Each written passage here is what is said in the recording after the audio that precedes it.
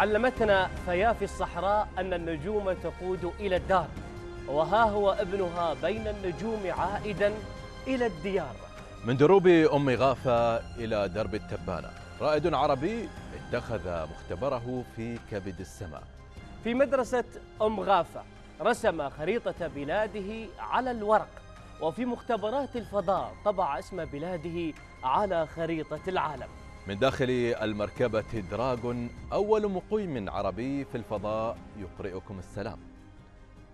تغطية وعودة لسلطان النيادي إلى الأرض. تأتيكم من مركز الأخبار بتلفزيون دبي وفي بث موحد على جميع قنوات الدولة التلفزيونية والإذاعية وأيضا المنصات الرقمية. نعم يشاركنا في تقديمها الزملاء كل من مراسل تلفزيون دبي ناصر أبو دياب. المتواجد في مركز جونسون للفضاء في هيوستن وفي مركز محمد بن راشد للفضاء في دبي فيصل حمادي وأحمد الطنيجي ووليد الأصبحي. محمد الكعبي أيضا في مجلس أم غافة قرية النيادي وديار العمري في جامعة برايتون حيث تعلم وتخرج النيادي من هناك. ترجع بالسلامة سلطان. بعد نحو ساعتين وفي تمام الساعة الثالثة وخمس دقائق بتوقيت الإمارات تقلع المركبة دراغون من محطة الفضاء الدولية حاملة على متنها رائد الفضاء الإماراتي سلطان النيادي وزملائه كروسكس بعد مهمة فضائية ناجحة استمرت ستة أشهر لإدارة المحطة وإجراء التجارب والأبحاث.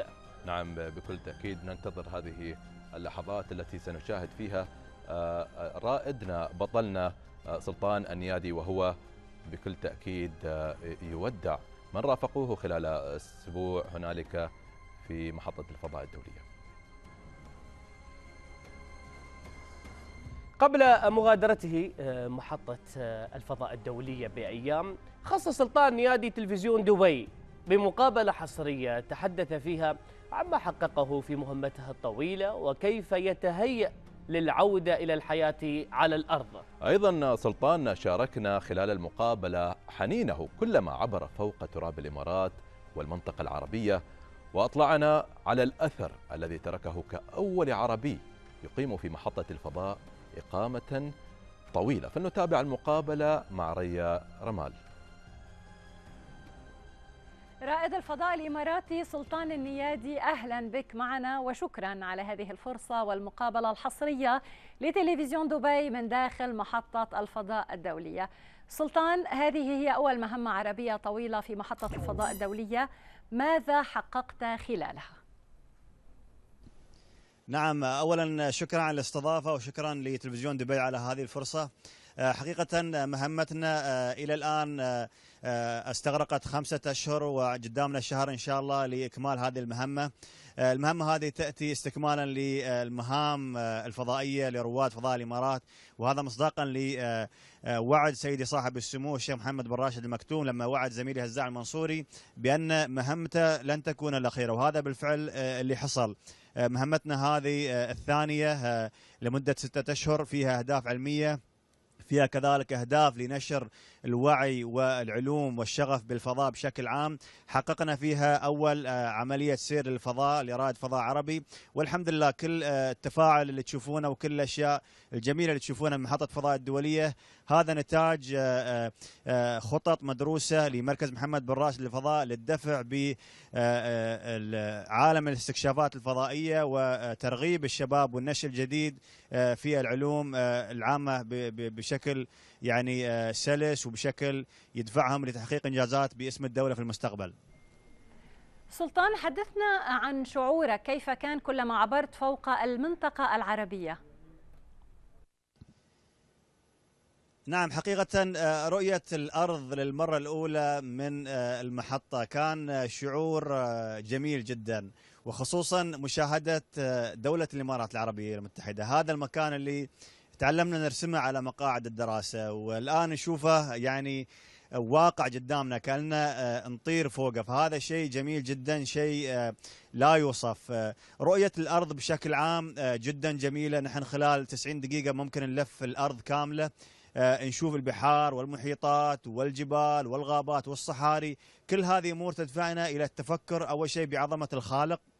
ثاني شيء أن هذا الكوكب اللي نعيش عليه لازم نحافظ عليه بطريقة يعني مناسبة ومستدامة بحيث أن الحياة تستمر عليه. ونحن في دولة الإمارات العربية المتحده خلال شهر ديسمبر المقبل بنستضيف القمة المناخية كوب 28 وهذا دليل على جدية الإمارات في حلول الاستدامة والحفاظ على المناخ بشكل عام. فمهمتنا هذه ابدا هي مهمة جدا جميلة لنشر التوعية والتثقيف بأهمية الكوكب اللي عايشين عليه. نعم.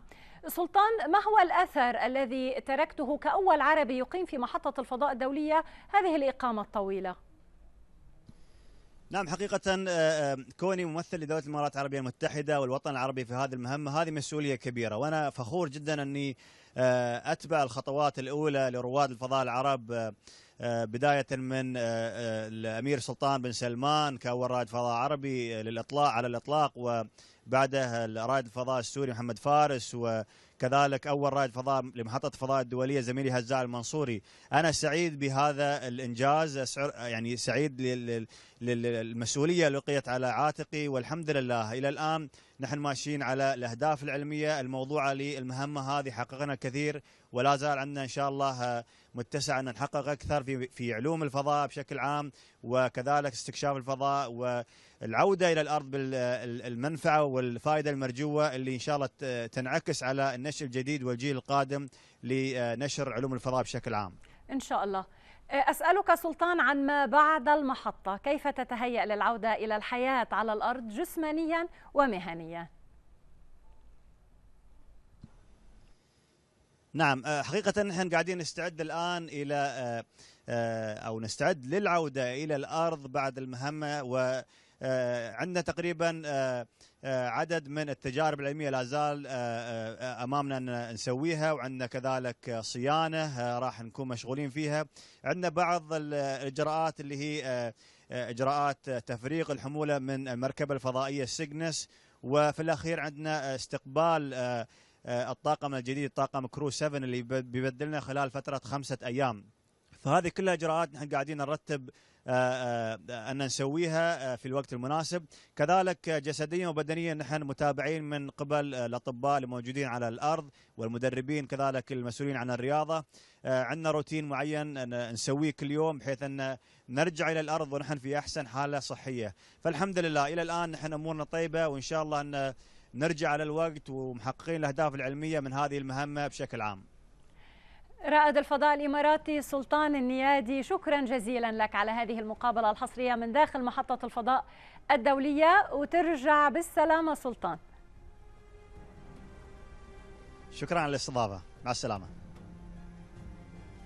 إذا كانت هذه مقابلة مسجلة حصريا لتلفزيون دبي مع سلطان نيادي. تم تسجيلها قبل أيام قليلة من رحلة عودته إلى الأرض.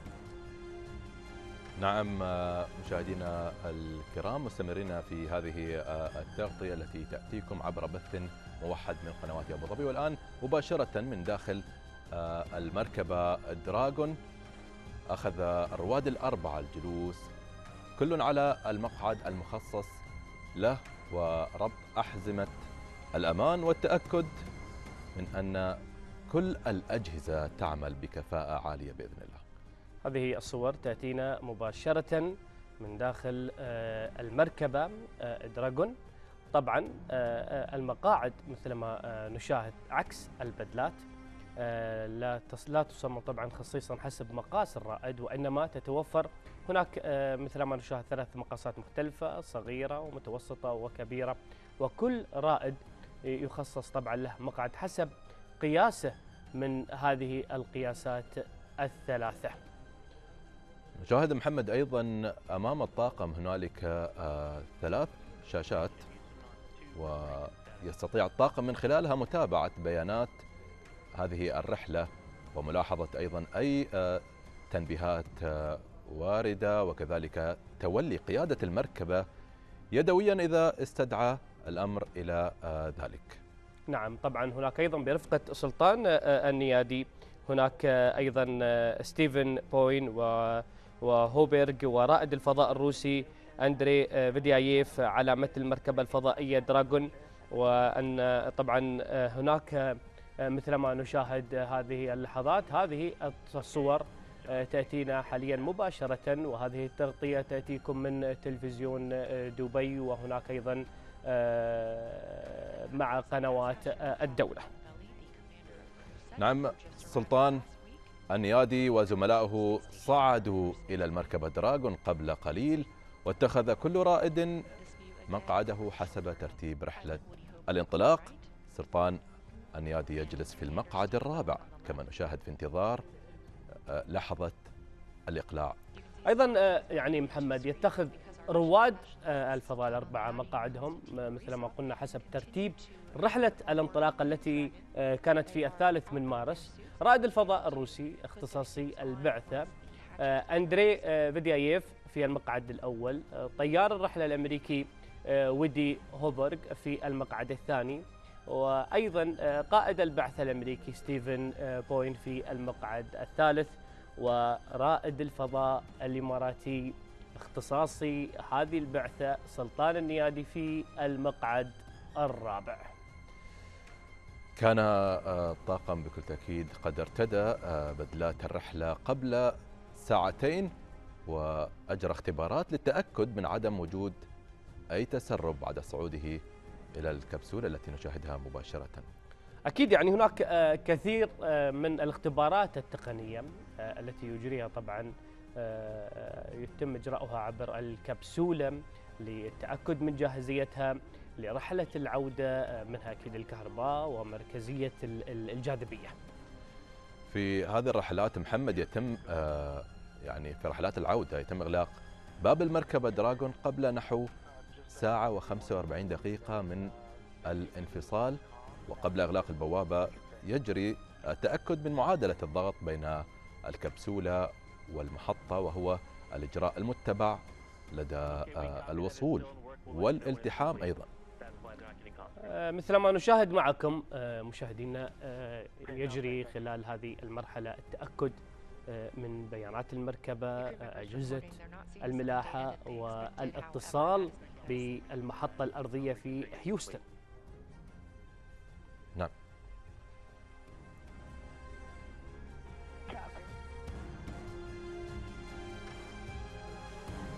They expect the communications reconfiguration to be complete استعداد وتأكد ومراقبة للشاشات الأمامية للطاقم التأكد من سير عملية الإقلاع والانفصال بشكل تام وسليم بإذن الله تعالى.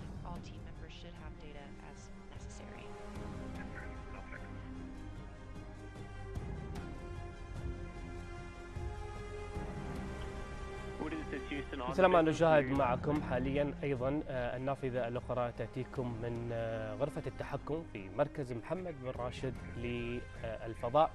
وإن شاء الله سوف آه، نتواصل مع مراسلينا أيضا هناك في مركز محمد راشد الفضاء وفي الجانب الآخر نشاهد مركبة دراغون آه، وهي تتجهز للحظات الأخيرة للانفصال.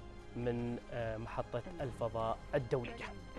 كل الدعوات للسلامة لطاقم هذه الرحلة للوصول بإذن الله تعالى سالمين إلى هنالك في فلوريدا نعم يعني هناك عبر مواقع التواصل الاجتماعي هناك هاشتاج ترجع بالسلامة سلطان يعني تقريبا من أربعة أيام وهذا الهاشتاج يتصدر آه، على نطاق دولة الإمارات ودول الخليج نعم. وأيضا عربيا وعالميا يعني آه، هناك كانت أكثر من 200 يعني تجربة علمية استفدنا منها من خلال آه، رائد الفضاء الإماراتي سلطان نعم. نيادي الذي تواجد تقريبا حدود ستة أشهر, أشهر.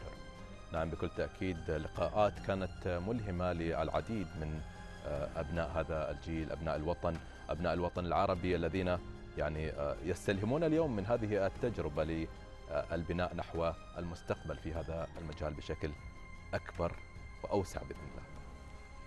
وهم الآن يستعدون لهذه اللحظة والعودة إلى الأرض. ربما يعني هناك أكيد مشاعر سلطان نيادي بين الفرح وأيضا الحزن. يعني الوداع دائما صحيح. محزن.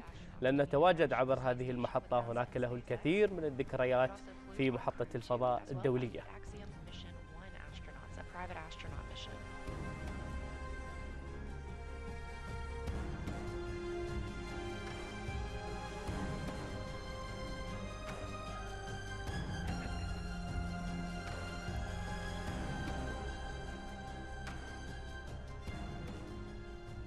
نذهب مباشرة الآن إلى الزميل ناصر أبو دياب المتواجد في مركز جونسون للفضاء التابع لناسا في هيوستن. ليضعنا في صورة المستجدات هناك. تفضل يا ناصر. نعم مرحبا بكم من أمام مركز جونسون للفضاء في هيوستن تكساس. لنتابع معا مراحل عودة رائد الفضاء الإماراتي سلطان النيادي وفريق Crew 6 إلى كوكب الأرض. مركز جونسون هذا هو أحد احد المراكز التابعة لوكالة الفضاء الأمريكية. ناسا تأسس في العام 1961 للتدريب على رحلات الفضاء البشرية والبحوث التحكم في رحلات الفضاء خاصة المأهولة منها. من هنا تم التحكم برحلات أبولو وجيميناي واليوم أيضا هو آه، يدير آه، رحلة العودة لرائد الفضاء آه، سلطان النيادي للتعرف أكثر على ما يدور في هذا المركز وعلى المراحل المختلفة لعودة سلطان النيادي يسرنا أن نستضيف المهندس عدنان الريس مدير برنامج طموح اثنان برنامج الإمارات للفضاء. أهلا بك. مرحبا فيكم نشكركم على تواجدكم اليوم معنا في هذه المرحلة المهمة رجوع سلطان النيادي بعد اكمال المهمة الممتده لأكثر من ست شهور في محطة الفضاء الدولية. اليوم مثل ما نشاهد انتقلوا رواد الفضاء ضمن الطاقم رقم ستة إلى المركبة دراجون من محطة الفضاء الدولية. لتمام الساعة الواحدة وثلث توقيت دولة الإمارات العربية المتحدة سيتم إن شاء الله إغلاق البوابة الخاصة بالمركبة آه، دراجون خلال هذه المدة يتم التأكد من بدلة رواد الفضاء يتم التأكد من الضغط الموجود درجات الحرارة آه، وأيضا نقل أنظمة دعم الحياة إلى داخل المركبة خصوصا نظام التبريد الخاص بالمركبة وبرواد آه، الفضاء وذلك وهذه وهذا النظام مهم جدا خلال مرحلة الدخول. آه، بعد الانتهاء من آه، من آه، الترتيبات اللازمة والاختبارات اللازمة للانظمه الكهربائية أيضا في المركبة دراغون وأنظمة الاتصال سيتم إن شاء الله إرسال الأوامر لانفصال المركبة دراغون عن محطة الفضاء الدولية وذلك بتمام الساعة الثالثة ظهرا بتوقيت دولة الإمارات العربية المتحدة. نحن عندنا فترة ساعة تقريبا ساعة الساعة الثالثة ظهرا إلى تقريبا الساعة الرابعة عصرا بتوقيت الدولة هذه المرحلة خلال هذه الفترة نقدر أن نحن ننفصل عن محطة الفضاء الدولية. لا سمح الله ممكن يكون هناك أي تأخير أو أمور تقنية فلدينا ساعة كاملة لتدارك هذه آه، الأمور. آه، كان لدينا اجتماع آه، قبل قليل مع شركائنا في وكالة الفضاء الأمريكية ناسا وشركة سبيس إكس وتم التأكد من الأحوال الجوية في منطقة الهبوط وتم اتخاذ القرار للاستمرار للمراحل القادمة. آه، بعد الانفصال إن شاء الله آه، تمام الساعة الثالثة ظهرا. هناك عندنا آه، أربع أنظمة للدفع راح تشتغل أو أربع مراحل للدفع للابتعاد عن محطة الفضاء الدولية. ومن ثم هناك مناورات أخرى راح نقوم فيها للدخول إلى مدار منخفض عن محطة الفضاء الدولية والوصول للمدار المناسب لمنطقة الهبوط، الهبوط إن شاء الله على سطح الأرض والتحديد على السواحل ولاية فلوريدا. آه، وهناك أيضا العديد من المراحل الأخرى راح نتكلم عنها إن شاء الله. إن شاء الله بإذن الله آه، بيوصل رائد الفضاء سلطان النيادي بالسلامة والفريق طبعا فريق آه، Crew 6 إحدى مراكز التحكم لهذه الرحلة موجود هنا مركز جونسون في وكالة الفضاء ناسا وهناك مركز آخر في كاليفورنيا سبيس إكس ومركز محمد بن راشد في دبي إضافة إلى مركز بفلوريدا. لنتحدث قليلا عن دور كل غرفة تحكم في إدارة هذه الرحلة وهذه العملية. نعم. في البداية أحب أذكر أن التحكم في مركبة دراغون عملية الانفصال والوصول إلى الأرض تم عن طريق شركة سبيس إكس من خلال مقرهم الرئيسي في ولاية كاليفورنيا ولديهم أيضا مقر ثانوي آه، لدعم العمليات في حالة المقر الرئيسي ما قدر إنه يعمل بالطريقة آه، المطلوبة. في عمليات التحكم تتم عن طريق شركة سبيس إكس، هناك فريق متواجد أيضا من مركز محمد بن راشد للفضاء هنا في Johnson Space Center في ولاية في هيوستن للعمل مع شركائنا في ناسا لاتخاذ القرارات اللازمة خلال المراحل المختلفة. آه، القرار الخاص بالانفصال وأيضا منطقة الهبوط وأيضا العمل على التنسيق مع الفرق الأخرى، هناك فريق أيضا إماراتي متواجد في فلوريدا على السفينة الخاصة بالإنقاذ. آه، هناك هزاع المنصوري والدكتورة حنان وفريقنا آه، من مركز محمد بن راشد للفضاء متواجد هناك مع فرق من وكالة الفضاء الأمريكية ناسا وسبيس إكس وأيضا الشركاء الآخرين للدعم عمليات الإنقاذ بعد وصول المركبة إلى سواحل فلوريدا. بالتأكيد هي عملية معقدة وهناك تفاصيل دقيقة وهي بحاجة لكثير من المراقبة والتحكم آه، وكل غرفة تحكم لها دور معين. آه، يعني آه، كما نشاهد الآن سيتم يعني دقائق وسيتم إغلاق بوابة المركبة. بعد إغلاق بوابة المركبة ماذا ماذا سيحدث؟ نعم. بعد الإغلاق سيتم خفض الضغط في المنطقة الفاصلة ما بين محطة الفضاء الدولية والمركبة دراغون حتى تصل إلى إلى آه، مرحلة منخفضة جدا. ومن ثم يتم آه، من خلال آه، الموجود في المركبة وأيضا الفرق الموجودة في مراكز التحكم. التأكد من عدم وجود أي تسريب للضغط أو الهواء سواء في المركبة دراغون أو محطة الفضاء الدولية. وهذه عملية مهمة جدا للحفاظ على سلامة رواد الفضاء المتواجدين سواء في المركبة أو في المحطة. بعد ذلك يتم التأكد من الأنظمة الكهربائية الموجودة في المركبة دراغون. سيتم فصل الأسلاك الموجودة ما بين آه، المحطة والمركبة دراغون والاعتماد الكلي على أنظمة المركبة دراغون سواء الأنظمة الكهربائية أنظمة اتصالات. يتم أيضا التأكد من بدلة رواد الفضاء لأن من هذه البدلة اللي تحميهم خلال المراحل المختلفة نتأكد من الضغط. هناك أيضا الهواء اللي اللي آه، يتم ضخه في آه، آه، بدلة رواد الفضاء. وأيضا رواد الفضاء يستخدمون البدلة هذه للتواصل ما بينهم خلال المراحل المختلفة. فنظام الاتصال الموجود في في البدلة هذه تمكنهم التواصل أيضا مع محطة الفضاء الدولية والتواصل مع مراكز التحكم موجودة على الأرض. هناك نظام الخاص بالتخلص من غاز ثاني أكسيد الكربون يتم التاكد أنه شغال. وأيضا أنظمة دعم الحياة آه، المختلفة. هذه العملية تستمر تقريبا آه، ساعة ونص إلى ساعة ثالثة وإن شاء الله الانفصال آه شكرا جزيلا مهندس عدنان. الرئيس ستكون لنا وقفة أخرى خلال الليلة. كنا معكم من هنا من مركز جونسون للفضاء في هيوستن. عودة الآن إلى الاستوديوهات في دبي. شكرا لك وسوف إن شاء الله نتواصل معك لاحقا في هذه التغطية المباشرة. لمجريات عودة رائد الفضاء الإماراتي سلطان النيادي و Crew 6 إلى الأرض.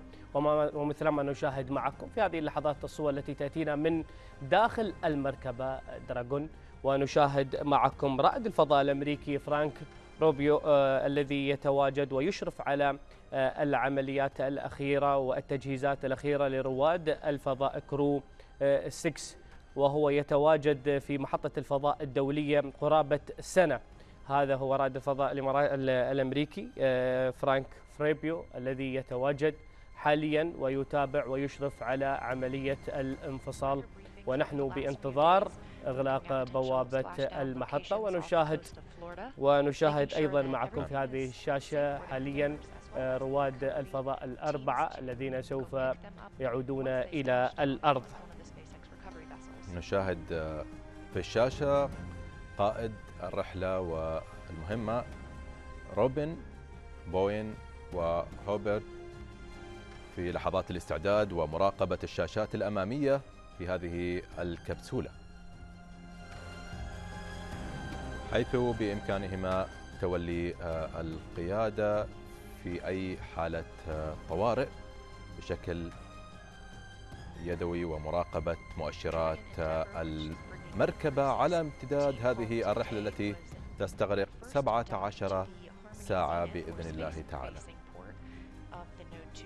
إذا آه، سيغادر سلطان النيادي محطة الفضاء الدولية وبرفقة كل من آه، رائدي الفضاء من ناسا ستيفن بوين وودي هوبرغ ورائد الفضاء الروسي أندري فيديايف على متن المركبة الفضائية دراغون. ومثل ما نشاهد معكم حاليا التجهيزات الأخيرة قبل إغلاق بوابة آه، المركبة دراغون. وهناك رحلة الهبوط التي تستمر بعدة مراحل. وقبل بدء التسلسل الخاص بمغادرة آه، المدار سيتم هناك مثل ما نشاهد إجراء فحوصات آه، صارمة خاصة فيما يتعلق مثل ما شاهدنا يعني تم تأجيل الرحلة يوم بسبب الظروف الجوية وأيضا هناك جاهزية آه، التعافي في الموقع المحدد للهبوط وأيضا هناك بعد الانتهاء من عملية تحقق سيتم هناك تنفيذ خطوات التالية سوف نشاهدها معكم مباشرة في هذه التغطية التي تأتيكم من مركز الأخبار في تلفزيون دبي وهناك بث مشترك مع قنوات الدولة.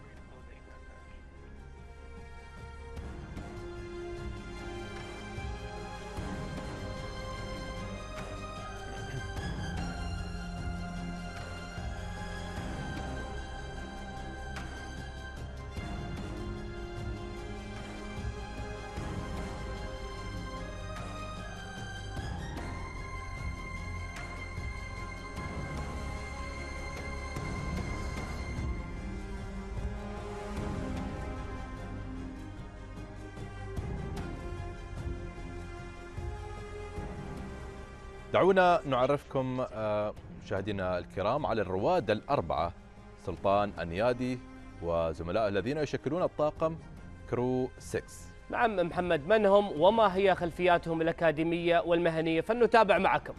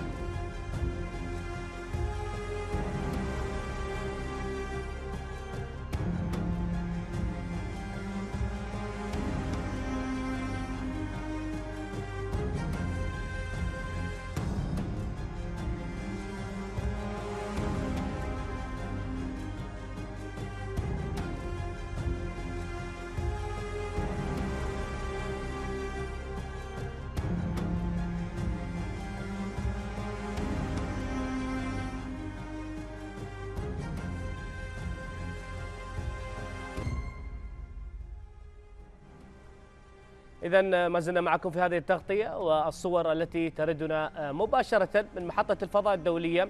إذا جرى إغلاق بوابة المركبة. دراغون استعدادا لانفصالها عن محطة الفضاء الدولية وإقلاعها نحو الأرض حاملة على متنها رائد الفضاء الإماراتي سلطان نيادي وزملائه أعضاء كرو 6 نعم إغلاق البوابة يتم بعد تفريغ غرفة معادلة الضغط ويجري على مرحلتين. الأولى إغلاق بوابة المركبة دراغون ويقوم بذلك رائد الفضاء الأمريكي فرانك روبيو المتواجد في المحطة كما ذكرنا منذ ما يقرب من سنة.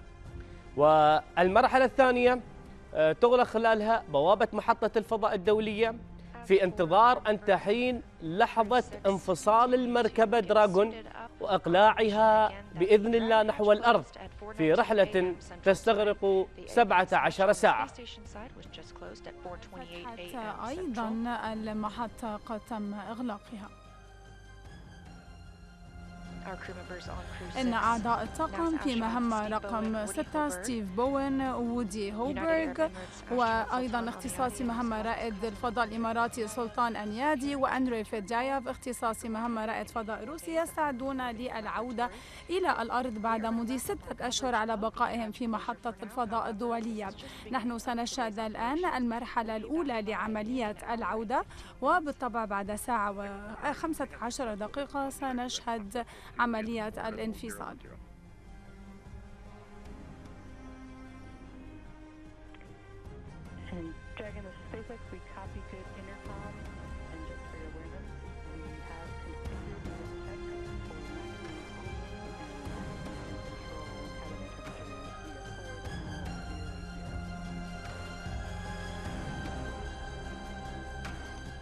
نشاهد معكم الآن في الاستديو هولوجرام للكبسولة.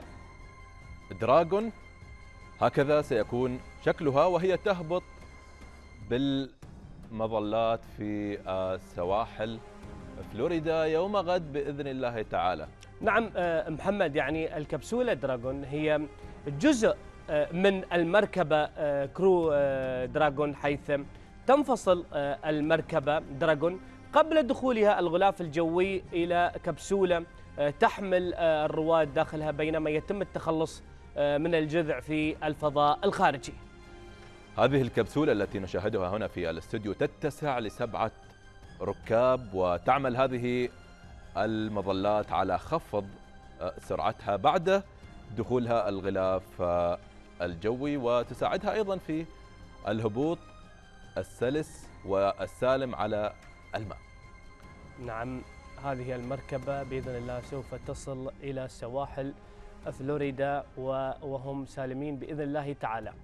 محمد كيف تنفصل المركبة دراغون عن محطة الفضاء الدولية وتشق طريقها نحو الأرض؟ وكيف تدخل الغلاف الجوي وتهبط على المياه قبالة سواحل فلوريدا الأمريكية؟ الزميل أسامة بني عيسى يشرح لنا ذلك محمد.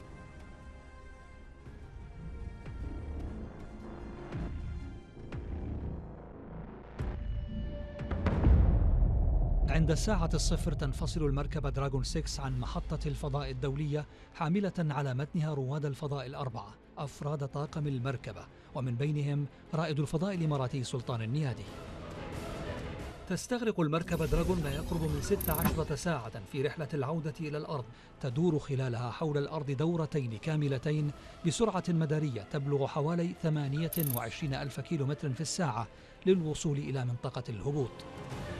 تجري المركبة خلال دورانها مناورات الهبوط ومنها انفصال الجذع عن الكبسولة لبدء احتراق المحرك تمهيدا لدخول الغلاف الجوي. ومع اقترابها من الغلاف الجوي تحرر المركبة دراغون الدافعات لمدة 15 دقيقة في مرحلة تعرف باحتراق دخول المدار. لدى دخولها الغلاف الجوي تواجه المركبة دراغون حرارة تصل إلى 1600 درجة مئوية وهي مهيئة لتحمل هذه الحرارة بدرع حراري لحمايتها. تبطئ المركبة من سرعتها المدارية من 28 ألف كيلومتر في الساعة إلى 560 كيلومتر في الساعة عند دخولها الغلاف الجوي. تقوم المركبة بعد ذلك بسلسلة من فتح المظلات الأربعة التي تساعدها على الهبوط السلس على مياه المحيط الأطلسي وتحميها من الارتطام. تكون المركبة قد خفضت سرعتها في هذه المرحلة إلى 25 كيلومترا في الساعة وبسلاسة تهبط المركبة دراغون حاملة رواد طاقم Crew 6 قبالة سواحل تامبا على بعد 54 كيلومتر من كيب كانيفرال في فلوريدا.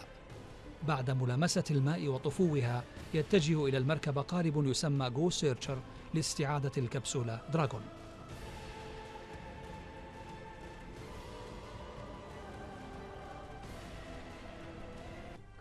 ننتقل الآن إلى المحطة آه، الأرضية في مركز محمد بن راشد للفضاء في دبي. وفيصل حمادي تفضل فيصل. نعم شكرا زملائي متواجدين حاليا في المحطة الأرضية في مركز محمد بن راشد للفضاء. لرصد آه، الأجواء ما قبل آه، انفصال المركبة دراغون عن محطة الفضاء الدولية وعودة آه، آه، الطاقم ومنهم آه، رائد الفضاء الإماراتي السلطان النيادي بعد قضاء فترة ستة أشهر. قدم خلالها سلطان العديد والعديد من المعلومات عدا التجارب العلمية التي قام بها في تلك الفترة. يعني الكل هنا في انتظار وصول سلطان النيادي إلى الأرض مرة أخرى بعد هذه الفترة التي يمكن بالنسبة لنا مرت سريعا نظرا للمعلومات وأيضا التواصل المباشر اللي كان مع سلطان النيادي في فترات متقاربة. نستغل وجودنا في المحطة الأرضية بمركز محمد بن راشد للفضاء ومعي في هذه اللحظات المهندس عامر الصايغ مساعد المدير العام للهندسة الفضائية بداية نرحب بك في هذه التغطية المباشرة لعودة سلطان النيادي و نتكلم عن نجاح هذه المهمة التي تعتبر الأطول في تاريخ العرب ستة أشهر سلطان متواجد في محطة الفضاء الدولية. مثل ما ذكرت الحمد لله تمت المهمة بنجاح وصلنا للمراحل الأخيرة. طموح زايد مستمر في الفضاء الحمد لله هذه المهمة الثانية. هذه أطول مهمة عربية للعرب في الفضاء. مثل ما ذكرت سلطان أتم فيها العديد من الاختبارات والتجارب العلمية والاتصال مع الناس في الأرض. الحمد لله مرت بسرعة وبنجاح وكان لها تأثير كبير في منطقتنا وأيضا على مستوى العالم. ربما كان التواصل المباشر له أثر كبير على الناس من الطلبة، الإعلاميين، المهتمين في شؤون الفضاء، تخبرنا عن التواصل اللي كان يترتب بين مركز محمد براج للفضاء وأيضا الجهات المهتمة في الفضاء هنا في دولة الإمارات مع السلطان. طبعا لله الحمد إحنا حاولنا جهدنا أن نوسع نطاق هذه الاتصالات المباشرة وقمناها في جميع إمارات الدولة ليكون فرصة مثل ما ذكرت الطلبة والطالبات والشباب وجميع فئات المجتمع للتواصل مع سلطان ويسالون أي أسئلة هم في بالهم مثل. الحمد لله كلها كانت ناجحة ومن خلال هذه الاتصالات طبعا يكون هناك تأثير على الشباب والشابات تحفيزهم لدخول في مجالات علمية وتقنية وبناء أجيال إن شاء الله راح تقود مهمة دولة الإمارات لأن نكون إن شاء الله الأفضل في العالم في مجال الفضاء وفي جميع المجالات. طبعا نخص بالذكر هنا الاتصالات اللي قمنا فيها أيضا مع جامعات أيضا متخصصة وقمنا اتصال خاص من الولايات المتحدة الأمريكية فأكثر من 25 اتصال مباشر مع سلطان كان لهم التاثير الكبير. وصلنا لأكثر من 10000 طالب وشخص هنا في دولة الإمارات. ولله الحمد بالإضافة إلى دول أخرى جرى اتصال في موريشيوس وكان له أيضا تأثير كبير على الساكنين في هذه الدولة. الحمد لله. أنتم في مركز محمد بن راشد بالتأكيد كان لكم تواصل مع سلطان النيادي. لو تحدثنا عن مشاعر سلطان في خلال الأيام أو الساعات الأخيرة قبل رحلة العودة إلى الأرض. طبعا لله الحمد سلطان كان دائما على استعداد لهذه المهمة. أكمل خمس سنوات من التدريب والحمد لله من وصل لهناك كان متحمس للعمل ومتحمس للتعليمات اللي توصل له من الأرض. أجرى أول مهمة سير للعرب بنجاح ولله الحمد مدتها سبع ساعات. وتلت ذلك الكثير من الإنجازات. في طول الفترة كان الحمد لله متفائل مستعد إيجابي. حتى هذا يعني طبعا هذا هو الكلام اللي سمعه أيضا من زملائه اللي موجودين في المحطة. وأيضا زملائنا هنيها في المحطات الأرضية من وكالات الفضاء الأخرى. الآن طبعا العودة للأرض العودة للوطن العودة للأهل نحن فخورين فيه. وهو أيضا فخور بهاي الرحلة. وأيضا اللي فهمنا منه إن شاء الله يعني هذا شعور دائما يكون لرواد الفضاء. يقول مو بالوداع ولكن إلى اللقاء إن شاء الله وهذه أكيد بتستمر مهمات طموح زايد إلى الفضاء وإلى أبعد إن شاء الله. مهندس عامر الصايغ مساعد المدير العام للهندسة الفضائية شكرا جزيلا لك. آه اذا آه كما ذكر المهندس عامر بأن آه الشعور هو شعور اللقاء القريب آه بإذن الله عودة سلطان إنجازات كثيرة قام بها السلطان خلال الفترة الماضية فترة الستة أشهر. آه، تجارب علمية تواصل مباشر. أول مهمة عربية للسير في الفضاء وغيرها أيضا من الإنجازات التي قام بها رائد الفضاء الإماراتي السلطان النيادي. ونحن بانتظار عودته إلى الأرض سالما غانما وكما يذكر الجميع وكما يتردد على لسان الجميع هنا في دولة الإمارات وأيضا في المنطقة العربية ترجع بالسلامة. سلطان أعود لكم زملائي الله تعالى. شكرا لك فيصل الحمادي ولضيفك الكريم على هذه النافذة من مركز محمد بن راشد للفضاء وبكل تأكيد لنا عودة لك ولكافة المراسلين. إذا ما زلنا نحن في هذه التغطية مباشرة وتفاصيل العودة. إن شاء الله سوف نوفيكم إياها أولا بأول عبر تلفزيون دبي وأيضا عبر القنوات الموحدة معنا.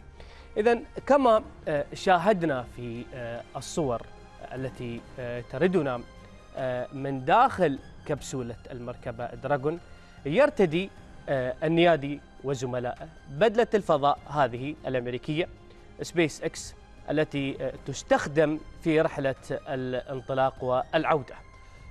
يعود الفضل محمد في تصميم هذه البدلة إلى مصمم هوليوود جوزيه فرنانديز وهو مصمم أزياء أفلام آه، هوليودية وتضم في محفظته فيلم Men in Black و Black Panther وكذلك Iron Man الشهير. والذي أيضا اعتقد في البداية أنه كان يصمم بدلات فضاء لإنتاج فيلم آخر بدلا من الإنتاج الفعلي لهذه البدلة أمامنا. محمد آه، تتمتع آه، البدلة اللي يطلق عليها طبعا موظفو سبيس إكس التوكسيدو.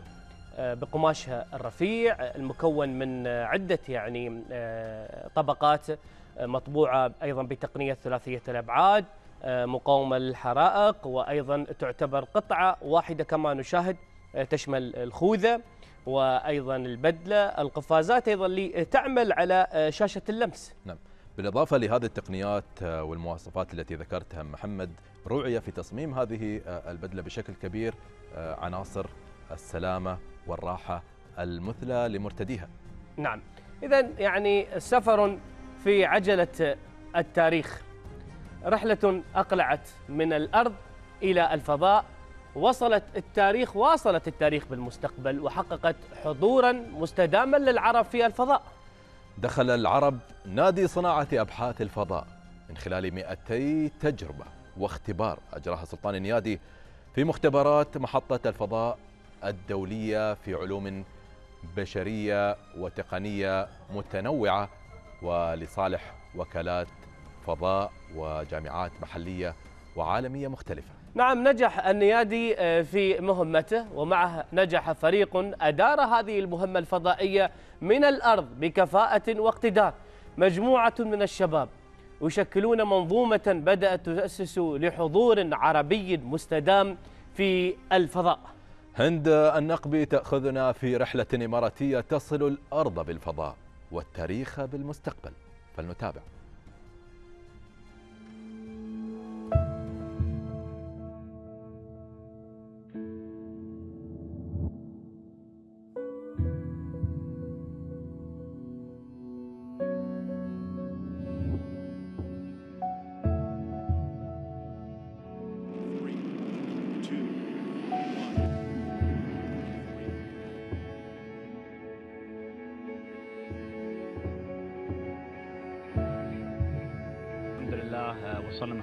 الدولية. آه، شكرا لأمي وأبوي شكرا قيادتنا الرشيدة اللي آه، أعطتنا الثقة هذه. الحمد لله على السلامة. ووصولك آه، قاعدة الفضائية من قال أن النهاية ليست بداية كبيرة. اليوم ينهي سلطان النيادي مهمته الأطول عربيا في الفضاء. ليبدأ تاريخ مستدام للعرب في الفضاء والمشاركة في أبحاثه واكتشافاته العلمية. اليوم تعزز الإمارات موقعها كشريك عالمي في مهمات الفضاء المأهولة التي تهدف إلى صنع مستقبل مستدام للبشرية. ولله الحمد تم اختيار سلطان النيادي لعملية السير في الفضاء. وضع دولة الإمارات في المرتبة العاشرة عالميا. تمتلك رواد فضاء شاركوا في مثل هذه المهمات. أيضا آه، أدى دوره في إدارة العمليات آه، الفضائية وعمليات الصيانة المختلفة. العمل ضمن طاقم دولي من دول مختلفة.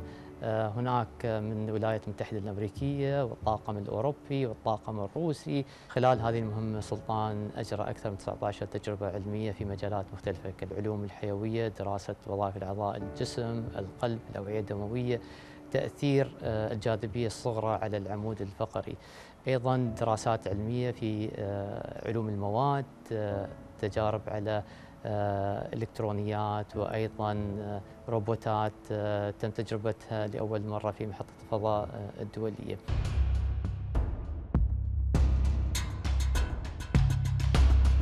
لم تكن رحلة النيادي نزهة في الفضاء وإنما مهمة علمية شهدت أول عملية سير في الفضاء الخارجي في تاريخ العرب. قام خلالها النيادي بأعمال صيانة لمحطة الفضاء الدولية كما أجرى خلالها 200 تجربة علمية لصالح خمس وكالات فضاء أجنبية وجامعات إماراتية وأمريكية وفرنسية منها جامعة ستانفورد. وقفت الدولة خلف نجاح المهمة بكل ثقلها العلمي والمعنوي ضمن إعدادها لمستقبل مستدام قائم على المعرفة. أطول مهمة فضائية في تاريخ العرب. أدارها من الأرض فريق من الشباب من أبناء الدولة توزعوا بين هيوستن ودبي يتواصلون مع النيادي على مدار الساعة لمتابعة وضعه الصحي واحتياجاته الطبية والغذائية وتأمينها وإرسالها ضمن بعثات التموين التي ترسل إلى محطة الفضاء كل شهرين. طبعا آه، الرحلة من آه، من البداية يكون في متابعات صحية آه، مكثفة في أول يعني شبه يومي في في الفترة الأولى وبعدين يصير في متابعة دورية لحالته. نتأكد أنه ما عنده أي أسئلة أو تحديات صحية يمر فيها. ويقدر يعني نشوفه نحن تقريبا اسبوعيا وفي مراسلات آه، من بينه بشكل يعني آه، في أي وقت يحتاج إلى الدعم آه، الصحي. طبعا في فريق كبير موجود على المحطات الأرضية لمتابعة مؤشراتهم الصحية، احتياجاتهم، كل رائد فضاء له يعني بعض الأدوية الخاصة فيه وفي أدوية عامة موجودة هناك متاحة لأي فريق يعني أي من الرواد ممكن الاستعانة بها إذا مروا بأي تحديات. صحية في هذه الأثناء وعلى مدار ستة أشهر كان فريق دبي يعمل كخلية نحل على تنظيم وإنجاح جدول فعاليات سلطان في محطة الفضاء والتنسيق بين الأطراف لتنفيذ هذا الجدول. ستة شهور طاف خلالها سلطان النيادي مرات عديدة حول الأرض. في مهمة وصلت الأيام بالليالي والأرض بالفضاء. عرفت الإمارات الطريق إلى مختبرات الفضاء. تذكرة كلفتها سنوات من السعي إلى اكتساب المعرفة. مع السلامة. شكرا للجميع شكرا لكل من ساعدنا. في آه، إنجاز المهمة هذه ستة أشهر شاركنا المجتمع آه، علوم الفضاء وأهمية الفضاء وليش نحن نروح للفضاء كبشرية نحن نعمل هنا كعائلة وحدة لأهداف سامية وهي منفعة البشرية، هذه مش النهاية راح تتبعها بإذن الله مهمات أخرى في المستقبل القريب.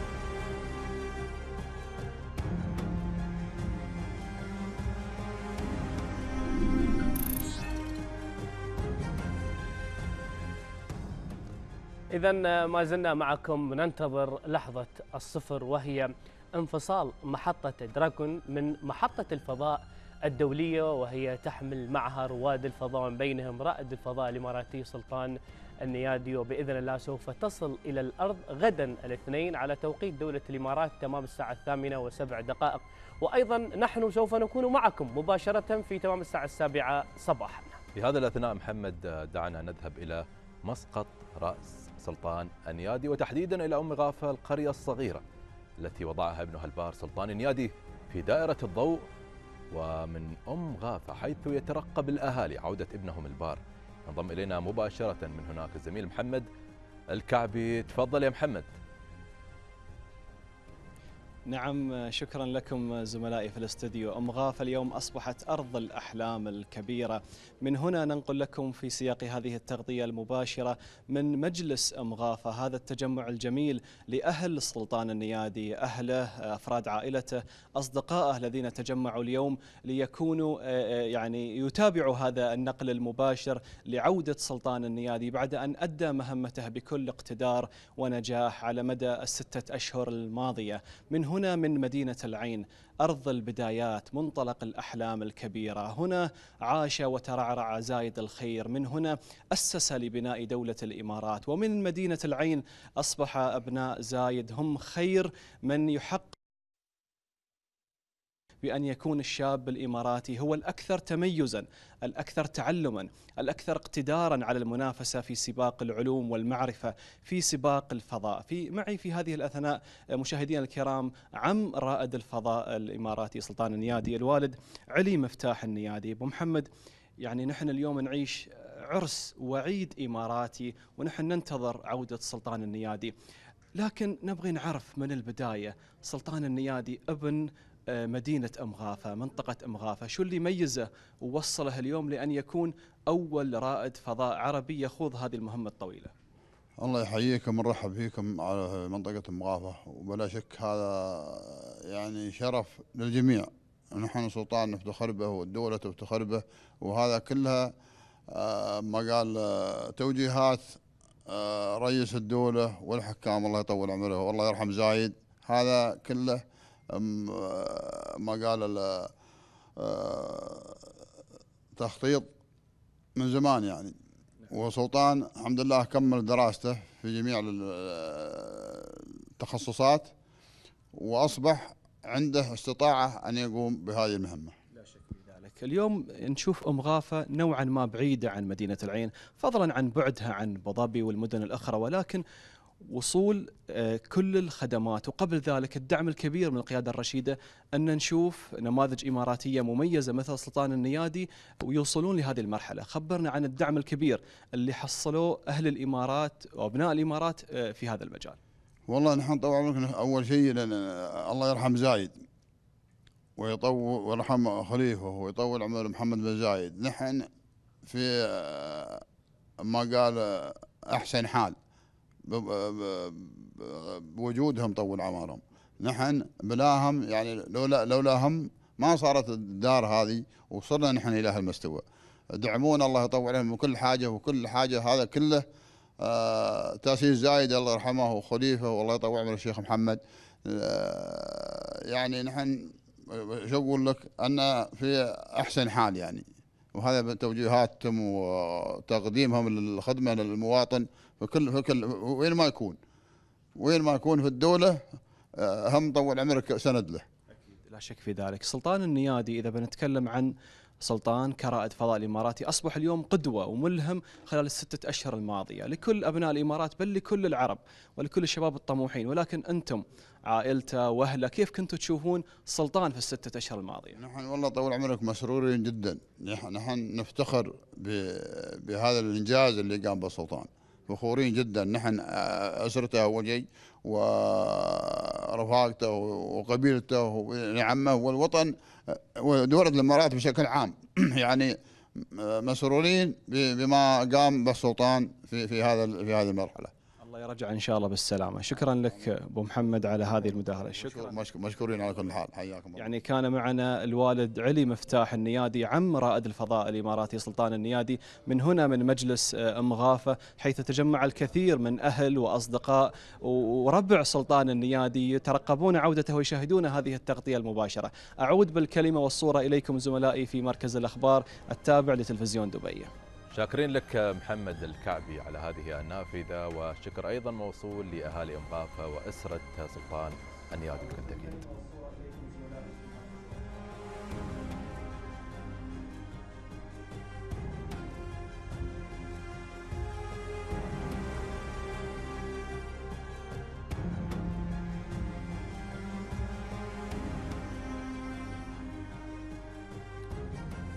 ومن قرية أم غافة إلى آه، استراحة الشيخ زايد التي كانت والذي استراح الشيخ زايد تحت ظل شجرها ذات عام. خرج سلطان نيادي رائد تعلم الانضباط والإصرار في حرم القوات المسلحة وصقله بالعلوم في أكبر جامعات العالم. من هو الرجل الذي حقق اليوم طموح زايد في أول مهمة عربية طويلة الأمد إلى محطة الفضاء الدولية؟ وما هي جذوره؟ نتابع مع أثير بن شكر من العين. وننوه إلى أن هذا التقرير تم تصويره قبل انطلاق النيادي إلى الفضاء فلنتابع معكم.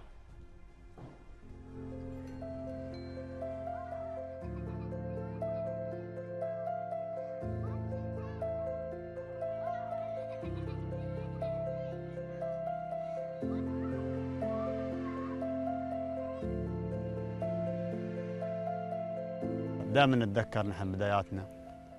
آه، القيادة الرشيدة قادتنا الآباء المؤسسين.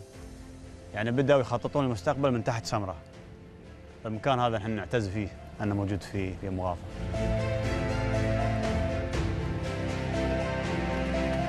هذا المكان استراح فيه الشيخ زايد. الله يغفر له ويرحمه. أمر بالمزارع والبيوت وال... المكان سدرة قديمة. والزمان ذاكرة مفتوحة على الحلم والطموح. من هنا مر الشيخ زايد. رمى بذرة طموحه ومضى. ومن قرية إمغافة خرج أحد أبنائه الذي يسافر بطموح زايد إلى الفضاء. وجذوره ما تزال ضاربة في الأرض مثل شجرة السدر هذه. تحملت مثله ظروف الصحراء فنمت وأورقت رائد الفضاء الإماراتي سلطان النيادي.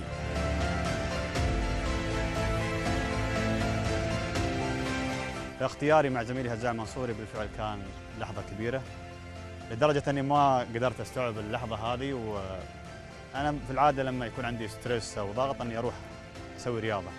فأتذكر أني لبست رياضة ورحت أركض مسافة تقريبا سبعة كيلو فترة طويلة بس أساس أخفف من الستريس هذا.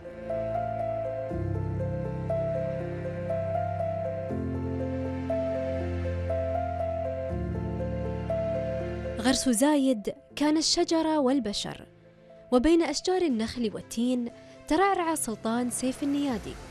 ولد في قرية أمغافة في ضواحي مدينة العين في عام 1981 لأسرة إماراتية تربي أبنائها على صنع الفرق.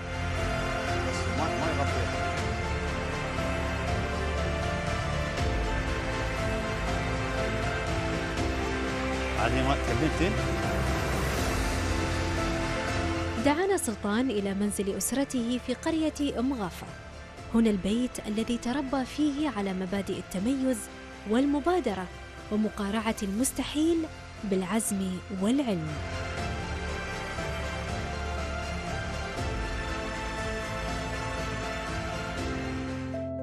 والله سلطان مو بلا فخر لي أنا الحين.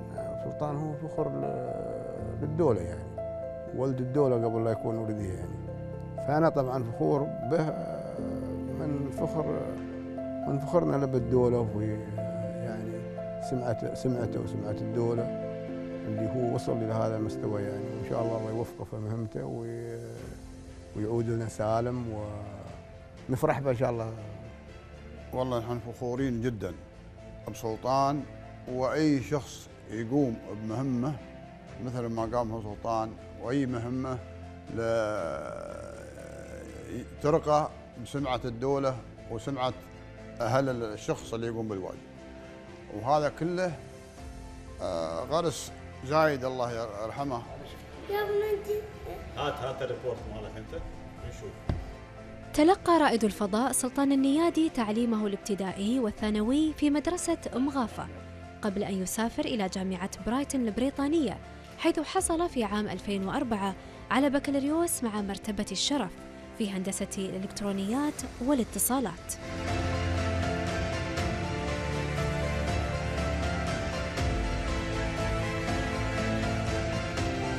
لم يأتي اختيار سلطان النيادي لمهمة طويلة الأمد في محطة الفضاء الدولية من فراغ وإنما من سنوات من المثابرة والتميز والحلم. في دولة تقدر الأحلام الكبيرة وتضع لها الأسس ومناخ التحقق. وتلك بقية القصة نرويها لكم في موقع آخر.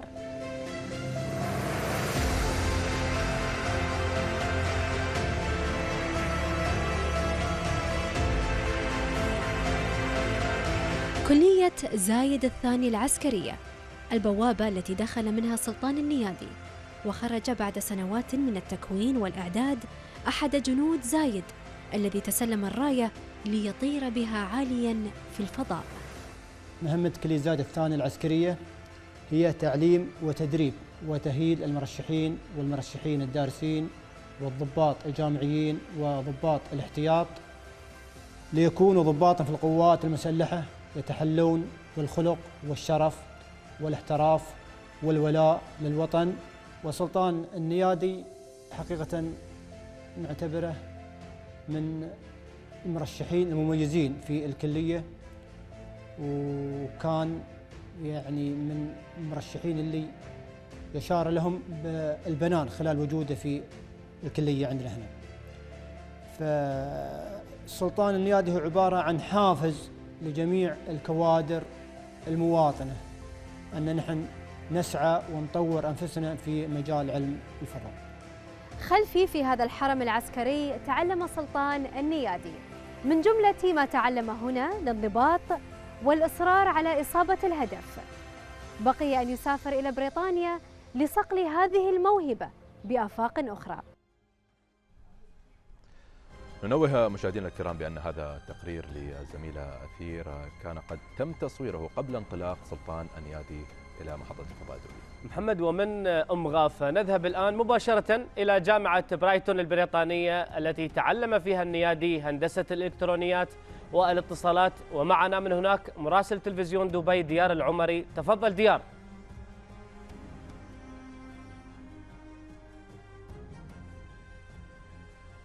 شكرا زملائي الأعزاء. بالفعل أنا أقف الآن في حرم جامعة برايتن البريطانية العريقة.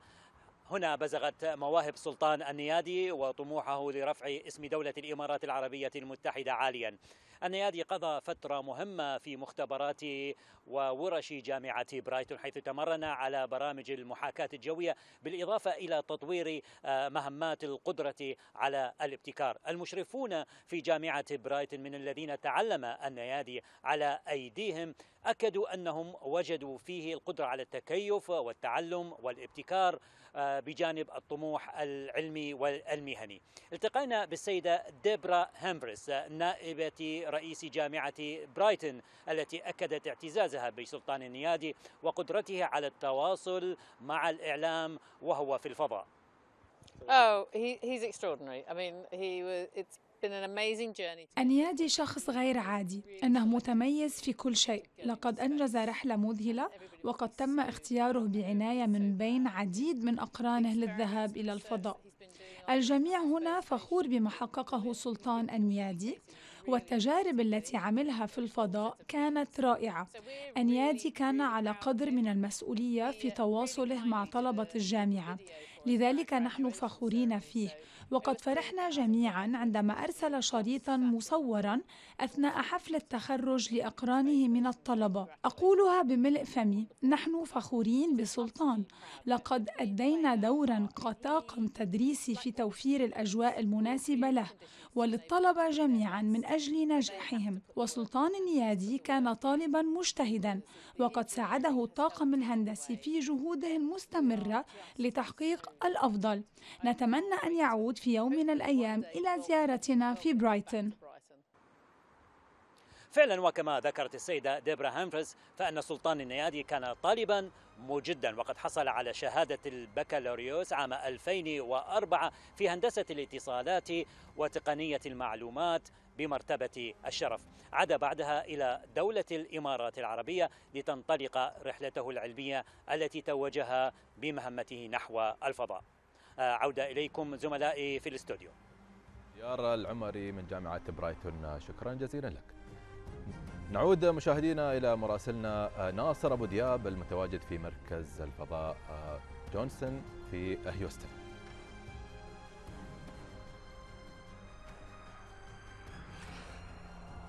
نعم مشاهدينا ما زلنا هنا معكم في هيوستن تكساس في مركز مركز جونسون.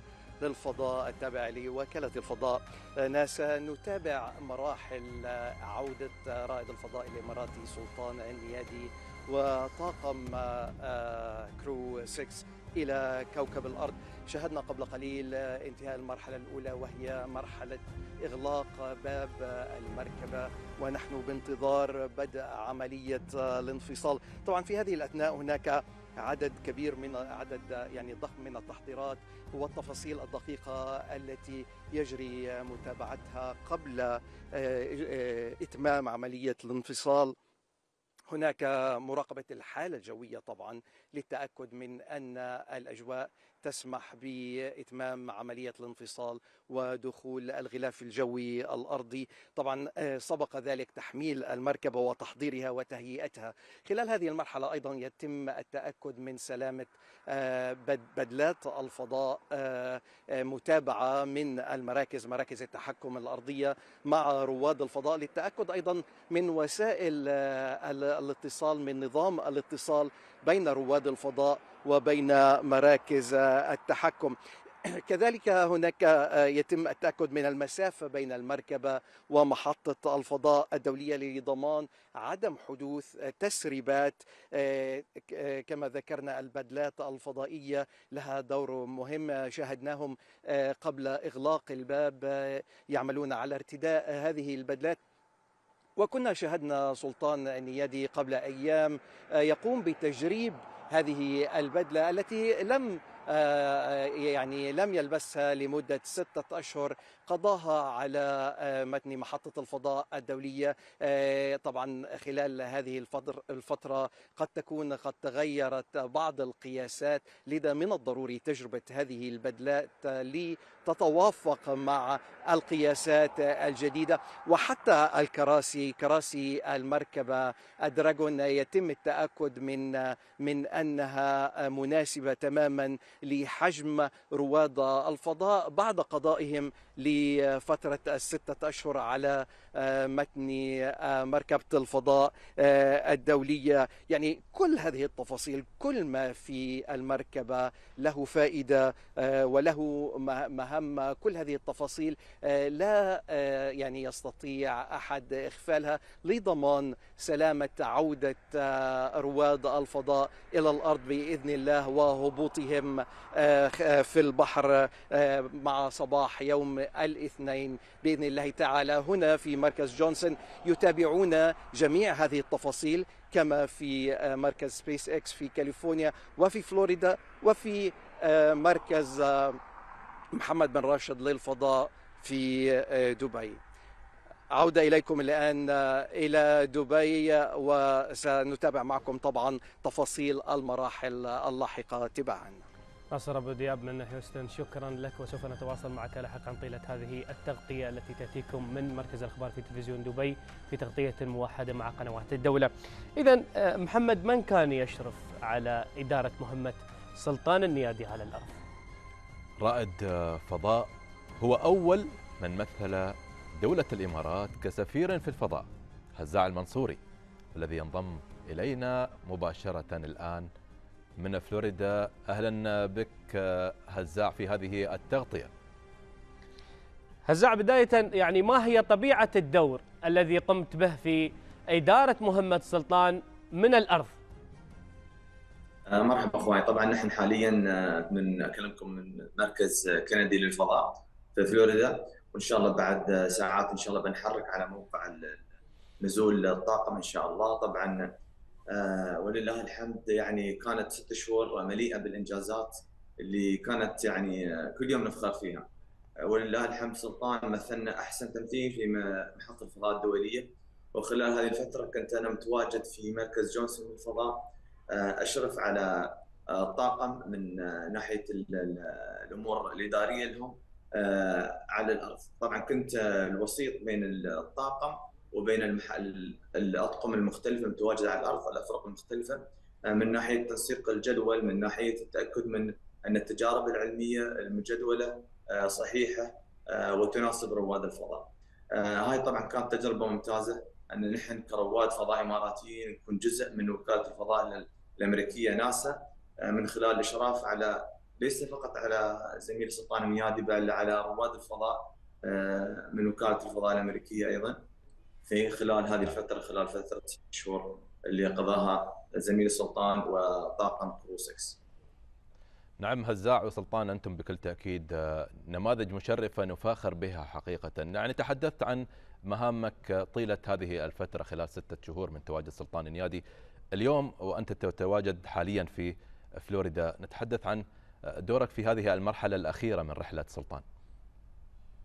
طبعا هذه مرحلة جدا مهمة. قبل كم ساعه نحن كنا في لقاء إيجاز عن حالة الطقس. الطقس جدا مهم نتأكد منه خاصة سرعة الرياح على ارتفاعات مختلفة لما لها تأثير على فتح المظلة على وصول للمكان المحدد وأيضا ارتفاع الموج. حاليا الحمد لله الطقس يبشر بالخير. الأمور كلها ممتازة. الأطقم الأرضية فريق الطائرات العمودية الهليكوبتر متواجدين في المكان المحدد إن شاء الله نحن بعد ساعات بنحرك على موقع اللي متواجد فيه السفينة وبننطلق إن شاء الله من الطائرات العمودية على السفينة وبنتريا إن شاء الله زميلنا سلطان. أه بكون إن شاء الله متواجد على السفينة مع زملائي من مركز محمد بن راشد للفضاء معنا زميلي أه سعيد العمادي اللي بيكون يغطي الحدث من السفينة وأيضا الدكتورة حنان السويدي اللي بتستقبل ان شاء الله سلطان وبتتاكد من حالته الصحية على متن السفينة. ومن ثم إن شاء الله بيتم نقل السلطان إلى إلى المطار ومن المطار إن شاء الله بيحركون على مركز جونسون للفضاء. اللي بيتمون فيه إن شاء الله هناك لغاية أسبوعين خلال هالأسبوعين الدكتورة حنان والأطباء والباحثين المتواجدين في مركز جونسون بيقومون بمتابعة حالة سلطان والتجارب العلمية أيضا في تجارب علمية خلال هالاسبوعين نعم.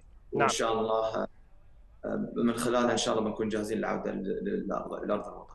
نعم هزاع بما أنك أنت تشرف اداريا على يعني سلطان النيادي وهذه المهمة أكيد كانت فترة طويلة مدة ست شهور عندما يعود سلطان النيادي كيف ستجري هناك عملية إعادة تأهيل النيادي خاصة يعني بدنيا بعد عودته إلى الأرض وكانت لك تجربة بسيطة وأنت تتواجد في محطة الفضاء الدولية. لا شك أن العيش في الفضاء لها تحديات مختلفة ومنها طبعا التحديات الجسدية. خلال تواجد سلطان كانت هناك تدريبات يومية لغاية ساعتين تدريبات جسدية، هاي التدريبات تخلي رائد الفضاء على الأقل يحافظ على نسبة من الكتلة العضلية وعلى محافظة على العظام بطريقه أنك أنت يوم ترجع من الفضاء بعد ست شهور ما تكون فقدت الكثير من الكتله العضلية والقدره على الحركة. طبعا إن شاء الله السلطان من يرجع إن شاء الله هناك فحوصات مكثفة بتكون عليه إن شاء الله خلال الفترة القادمة خلال أسبوعين اللي من خلالها إن شاء الله بنتأكد من صحة سلطان هناك خبراء متواجدين في مركز جونسون للفضاء مدربين رياضة مؤهلين لتأهيل رواد الفضاء بعد رجوعهم من ال من ال من المهمات الطويلة هذه.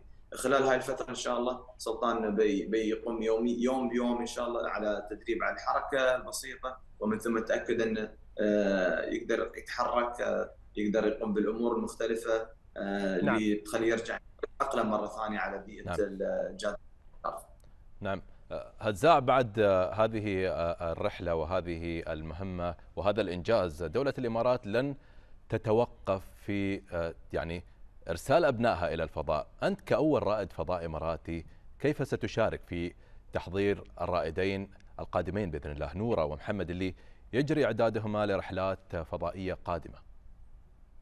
بلا شك مثل ما قلت زميلي يعني نحن ولله الحمد في ظل قيادتنا الرشيدة نقوم دائما يعني بالتدريب والتأهيل هنا في مركز جونسون للفضاء لمهمات فضائية في المستقبل.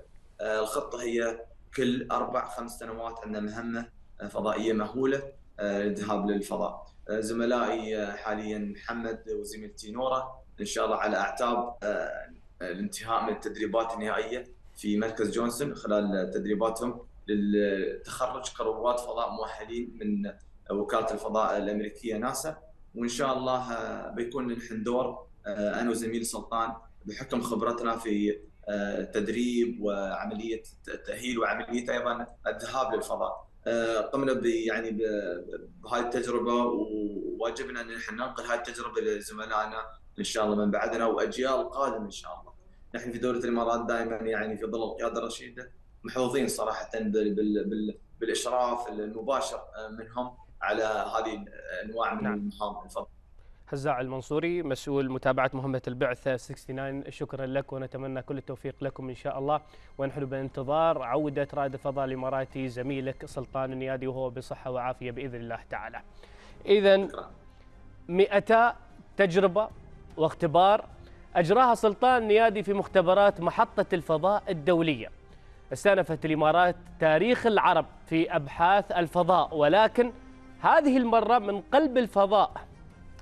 تجارب وأبحاث طبية وتقنية أجراها النيادي لخمس وكالات فضاء وجامعات محلية وعالمية. منها جامعة ستانفورد. نتابع هذه التفاصيل كلها مع الزميل أحمد قاسم.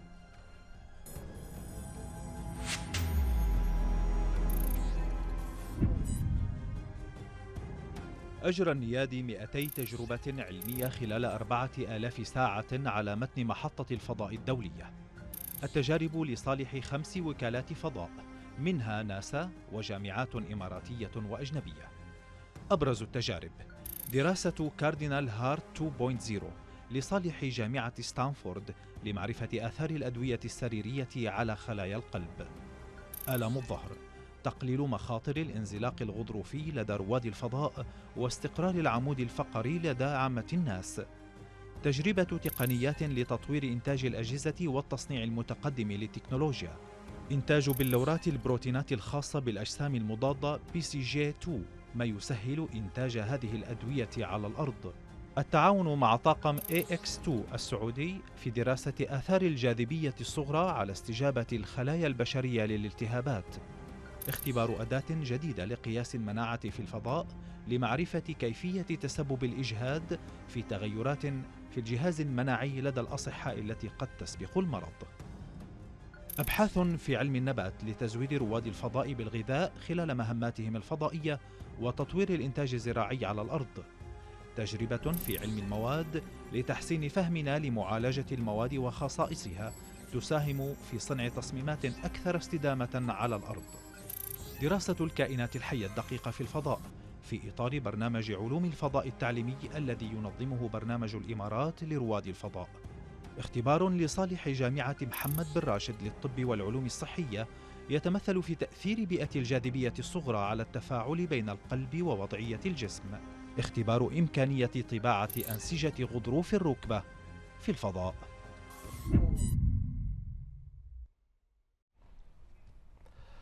نشاهد مشاهدينا الكرام على الهواء مباشرة هولوجرام للمختبر كولومبوس العلمي الذي أجرى فيه سلطان النيادي بعض من أبحاثه وتجاربه. نعم المختبر يعتبر أحد مختبرات محطة الفضاء الدولية وأكبر مساهمة في المحطة قدمتها وكالة الفضاء الأوروبية. محمد تم إطلاق المختبر على متن مكوك الفضاء أتلانتس في السابع من فبراير 2008 وهو مصمم لإجراء التجارب والاختبارات فيه. ويتم التحكم فيه من قبل مركز التحكم الموجود في مركز عمليات الفضاء الألماني. نعم وأنفقت وكالة الفضاء الأوروبية آه، مليار و400 مليون يورو على بناء كولومبوس.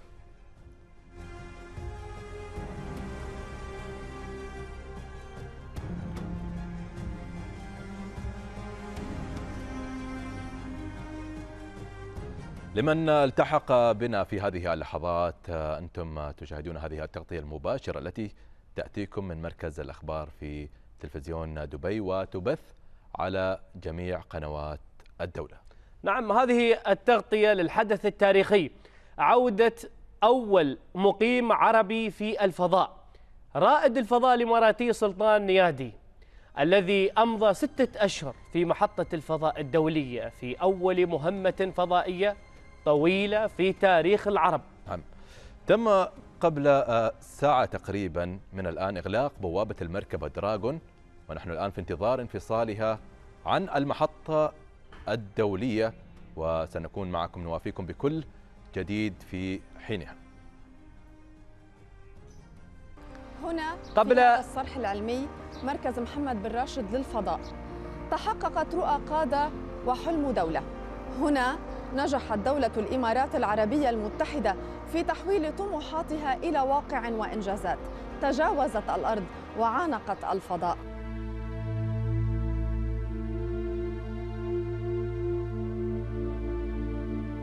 من عهد إرسال سفراء إلى الخارج إلى إرسال سفراء إلى الفضاء الخارجي.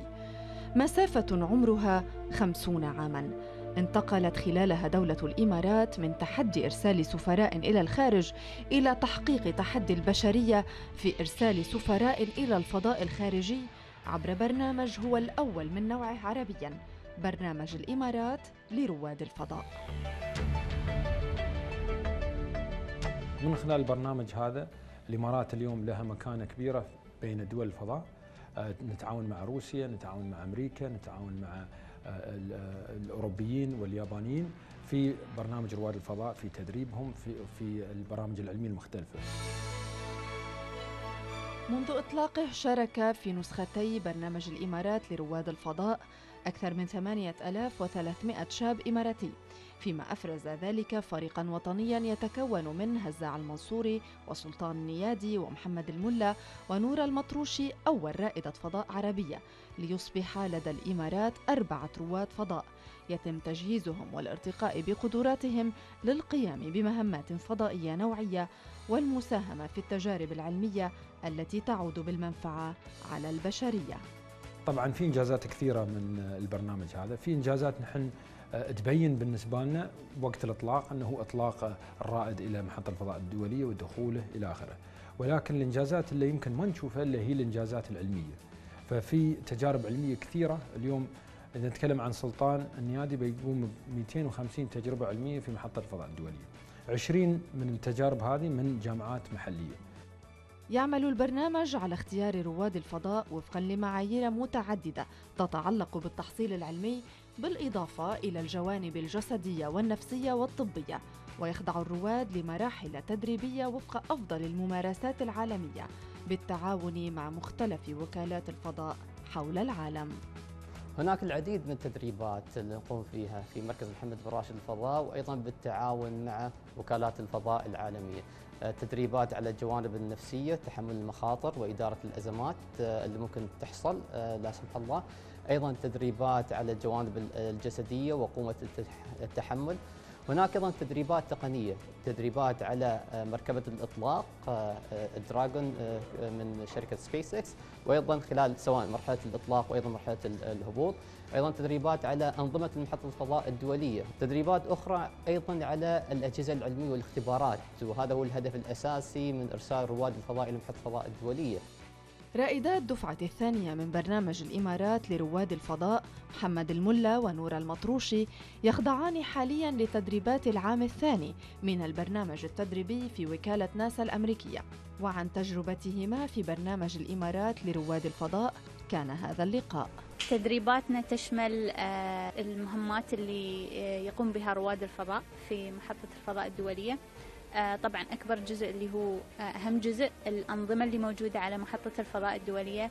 الجزء الثاني اللي هي أعمال الصيانة الدورية معدات اللي موجودة في المحطة. جزء آخر منها اللي هي التدريب على آه، التحكم في الذراع الروبوتية اللي موجودة على المحطة. الجزء الأخير اللي هو كيف تسوي مهمة السير في الفضاء اللي هي يوم تطلع خارج المحطة. وتسوي أعمال صيانة خارج المحطة وأنت تكون لابس اللي هي بدلة الفضاء.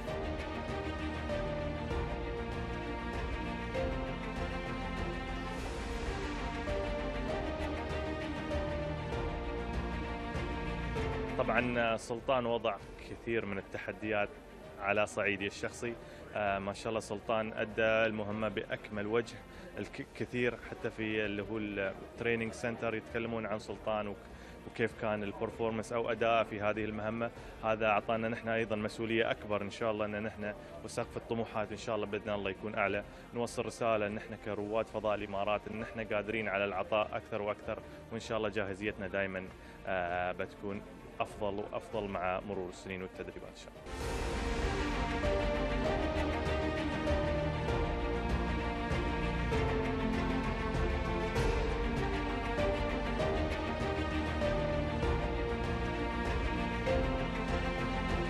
إنجازات كثيرة حققها برنامج الإمارات لرواد الفضاء بسنوات قليلة. فكان الوسيلة الذي تخطى من خلالها أبناء الإمارات حاجزا جديدا في طموحهم الذي لن تحده سماء ويتسع له الفضاء. إذ لا توجد قوة تقف أمام إرادة شعب يحب المستحيل. أديل طعمة تلفزيون دبي. المحطة الأرضية في مركز محمد بن راشد للفضاء تعيش معنا في هذه اللحظات. حالة ترقب للحظة انفصال المركبة دراغون هذه لحظة حاسمة وعن محطة الفضاء الدولية والمتوقع في حدود الساعة الثالثة وخمس دقائق بتوقيت الإمارات بإذن الله. لحظات الترقب هذه محمد يطلعنا عليها. من هناك من المحطة الأرضية في مركز محمد بن راشد للفضاء الزميل آه، أحمد آه، الطنيجري الذي يتواجد حيث يوجد هناك بعض من فريق برنامج رواد الفضاء. إليك الكلمة والصورة أحمد.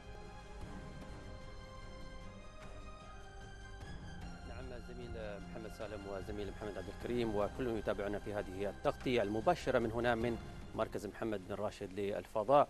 بالتأكيد آه، الكل هنا والاتجاهات آه، تتركز هنا في مركز محمد بن راشد للفضاء. آه، الإمارات اليوم على موعد جميل مع أن تسطر صفحة جديدة في قطاع الفضاء. وبالتأكيد نحن اليوم على موعد مع يوم تاريخي يؤكد التزام الإمارات بترسيخ موقعها الريادي فيما يتعلق بقطاعات الفضاء والتكنولوجيا والعلوم بمختلف أشكالها. بالتأكيد لعل السؤال فيما يتحدث عن فريق العمل. نحن نتحدث عن فريق عمل كان ملهما طوال ستة أشهر آه، تجربة كبيرة كانت في مركز محطة الفضاء الدولية وبالتأكيد باعتبارها هي أكبر نموذج لمحطات الفضاء في تاريخ البشرية وأكثرها حداثة وعلوما وتكنولوجيا. فبالتأكيد كانت الأنظار العالم خلال الفترة الماضية متركزة على هذه المهمة وجرو سكتة وباعتبار سلطان النيادي أحد أفراد هذا الطاقم. بالتأكيد هناك ملفات قطاعات جميلة برامج مختلفة رافقت هذه المهمة. لعل البرنامج العلمي أحد أبرز ما كان متعلقا في هذه الرحلة ولعله هو البرنامج الرئيس. نتحدث أكثر هنا عن البرنامج العلمي المصاحب لفريق جرو 6 يتواجد هنا معي آه، سعادة آه، فاطمة لوتا رئيس قسم علوم الحياة في مركز آه، في الفضاء في مركز محمد بن راشد الفضاء. يعطيكم العافية أنتم وفريق العمل. باختصار لعل ملف البرنامج التعليمي. ما هي خلاصة ست أشهر قام بها فريق العمل؟ شارك رائد الفضاء سلطان نيادي في برنامج علمي مكثف آه، من خلاله آه، عمل على 200 تجربة علمية. كانت هذه التجارب بالتعاون مع وكالات الفضاء العالمية مثل وكالة ناسا الأمريكية وكالة وكالة ESA وال CNES اللي هم وكالة الأوروبية والوكالة الفرنسية وأيضا الوكالة اليابانية JAXA و CSA الوكالة الكندية. وكانت هذه التجارب تغطي مجالات عديدة منها آه، مجال الهندسي مثل هندسة الزراعة هندسة الكيميائية الهندسة الميكانيكية. وأيضا آه، علوم البيولوجي وعلوم الكيمياء وأيضا آه، علوم الصحية والعلوم الجسدية. لعل اليوم إحنا نتكلم اليوم عن تاريخ ملهم. الإمارات قبل سنوات كانت الدولة تستقبل المعرفة لكن اليوم إحنا الإمارات خطت خطوة جميلة. اليوم الإمارات مركز إشعاع آه، ما هو الخطوة القادمة لمجمل هذه العلوم؟ كيف سيتم نشرها في عالم ومجتمعات المجتمعات العلمية في دول العالم؟ نحن نشوف أن البرنامج العلمي لهذه المهمة لم ينتهي. ففي تكملة للبرنامج العلمي بعد رجوع رائد الفضاء سنشتغل على جمع بيانات حتى نفهم كيف هذه الدراسات اللي شارك فيها آه، تأثرت آه، بانعدام الجاذبية وكيف تتأثر في الأرض. وبعد ذلك آه، نحن نطمح أن نشارك هذه البيانات للجامعات المحلية في الدولة. وطبعا نحن نهتم أن نشارك أيضا الجامعات العالمية. فاطمة عذرا ويمكن أخرج عن النص. اليوم أنت واحدة من فريق العمل شو شعورك اليوم؟ انت نموذج لفريق عمل متكامل شو شعوركم اليوم وأنتم في اللحظات الأخيرة لإنجاز هذه المهمة؟ أول شيء أبغى أشكر الفريق العلمي في مركز محمد بن راشد فضاء فهم اشتغلوا وايد على البرنامج العلمي كان برنامج مكثف وأبغى أشكرهم على كل الساعات الطويلة وأيضا أشكر رائد الفضاء سلطان نيادي إنه أدى آه، مهامة وكل هذه التجارب العلمية بنجاح ونحن يعني متحمسين إن إن شاء الله يرجع بالسلامة. وأخيرا أكيد ما شاء الله خلال الندوات التي ربما جلنا فيها وإحنا حتى كإعلام من محطة لمحطة من إمارة لإمارة لاحظنا أكثر من 10000 طالب وشخصيات كبيرة شاركوا. كيف كانت أيضا هذه الإثراء المعرفة باختصار؟ آه نحن في البرنامج العلمي أيضا كان آه برنامج تعليمي. فنحن آه كانت عندنا وايد آه برامج آه أطلقناها خلال آه وجود آه رائد الفضاء سلطان النيادي في الفضاء. فكانت عندنا تحديات آه سويناها مع رائد الفضاء مع الجامعات في الدولة. وأيضا كان عندنا آه برنامج زرنا مدارس في الدولة. آه ويعني يعني هذا كان أهم شيء عندنا. أن تكون أن في فرصة للطلبة والطالبات أن يشاركونا في هذه المهمه. فاطمه لوتاه مدير قسم علوم الحياة في الفضاء في مركز محمد بن راشد للفضاء، شكرا لتواجدك وشكرا لمشاركتك وأنت وفريق العمل الملهم. طبعا زملاء قبل العودة ربما مثل ما تفضلت فاطمة لوتاه الحديث هنا عن كثير من التجارب، اليوم دولة الإمارات ومن خلال هذه الحصيلة المعرفية العلمية في قطاعات متعددة من التجارب العلمية ستكون مصدر إشعاع لكثير من المجتمعات العلمية المعرفية. وبالتأكيد الإمارات نجحت في رهانها رهانها في إيجاد قاعدة وجيل ملهم من الشباب القادرين سواء في أقسام الميكانيكا الهندسة مجمل هذه القطاعات لتنمية قطاع فضائي مستدام نحو طموحات دولة الإمارات. وأن تكون رائدة في قطاع الفضاء واستدامته. عودة إليكم أحمد أحمد الطنيجي شكرا لك ولضيفتك الكريمة. كنت معنا من مركز محمد بن راشد للفضاء. ومن المحطة الأرضية في مركز محمد بن راشد للفضاء ننتقل إلى أم غافة المبتهجة بعودة ابنها سلطان نيادي إلى الأرض وينضم إلينا من مجلس أم غافة الزميل محمد الكعبي. تفضل محمد. نعم زملائي في الاستديو مرة أخرى من هنا من منطقة أم غافة ولكن هذه المرة مقابلة هي الأجمل حقيقة. وأنا يعني محظوظ جدا بأني حصلت على هذه المقابلة مع والدة رائد الفضاء الإماراتي سلطان النيادي الوالدة خفية سالم النيادي. أمي اليوم نحن كلنا متنومسين بأن سلطان نجح في هذه المهمة. أثبت أنه خير من يمثل أبناء الإمارات ولكن نبغي نسألك أنت كأم اليوم شو شعورك وأنت تشوفين سلطان النيادي ناجح في هذه المهمة ويترقب أنه يعود بالسلامة بإذن الله. والله الحمد لله الله يسلمكم ويعطيكم العافية إن شاء الله. والله سلطان رفع راسنا وراس دولته والحمد لله اللهم لك الحمد والشكر وفضل من رب العالمين. والله يطول عمر شيوخنا إن شاء الله اللي مهدوا لهم على الطريق. يعطيهم الصحة والعافية إن شاء الله يا ربي والحمد لله اللهم لك الحمد والشكر. مالي لا لا كلمة لا إله الحمد لله رب العالمين. رب العالمين. أنا متأكد بأن المشاعر مختلطة اليوم ولكن الناس تعرف عن سلطان الكثير أن سلطان هو الدكتور وهو المهندس وهو العسكري المتميز في حياته العلمية والعملية. ولكن نحن نبغى نعرف سلطان الولد اللي في البيت كيف كان من وهو صغير شو اللي يميزه عن إخوانه وعن ربعه أنه وصل لهذه المرحلة. والله الحمد لله ماشي ترى كل يا إخوان اللهم لك بس كان الحمد لله كان شاطر بعد من أول بداية الحمد لله اللهم لك الحمد. وما كان حتى ما كنت أنا ما أعرف حتى درس الحمد لله. لا الله توفيق من رب العالمين. الله يسر امره ووفق صار ودرس الحمد لله برا ورد. اللهم لك الحمد والشكر. اللهم لك الحمد يعني ما بغثك في الأسئلة أمي مثل ما وعدتك ولكن يعني سؤالي الأخير عن تعامله أخلاقه مع الآخرين إنه سلطان اليوم هو نموذج للشاب الإماراتي فخبرينا عن صفاته اللي الناس ما تعرفها يمكن داخل البيت ومع أهله. والله الحمد لله صفاته زينة. اللهم لك الحمد. كل الحمد لله اموره طيبه اللهم لك الحمد والشكر.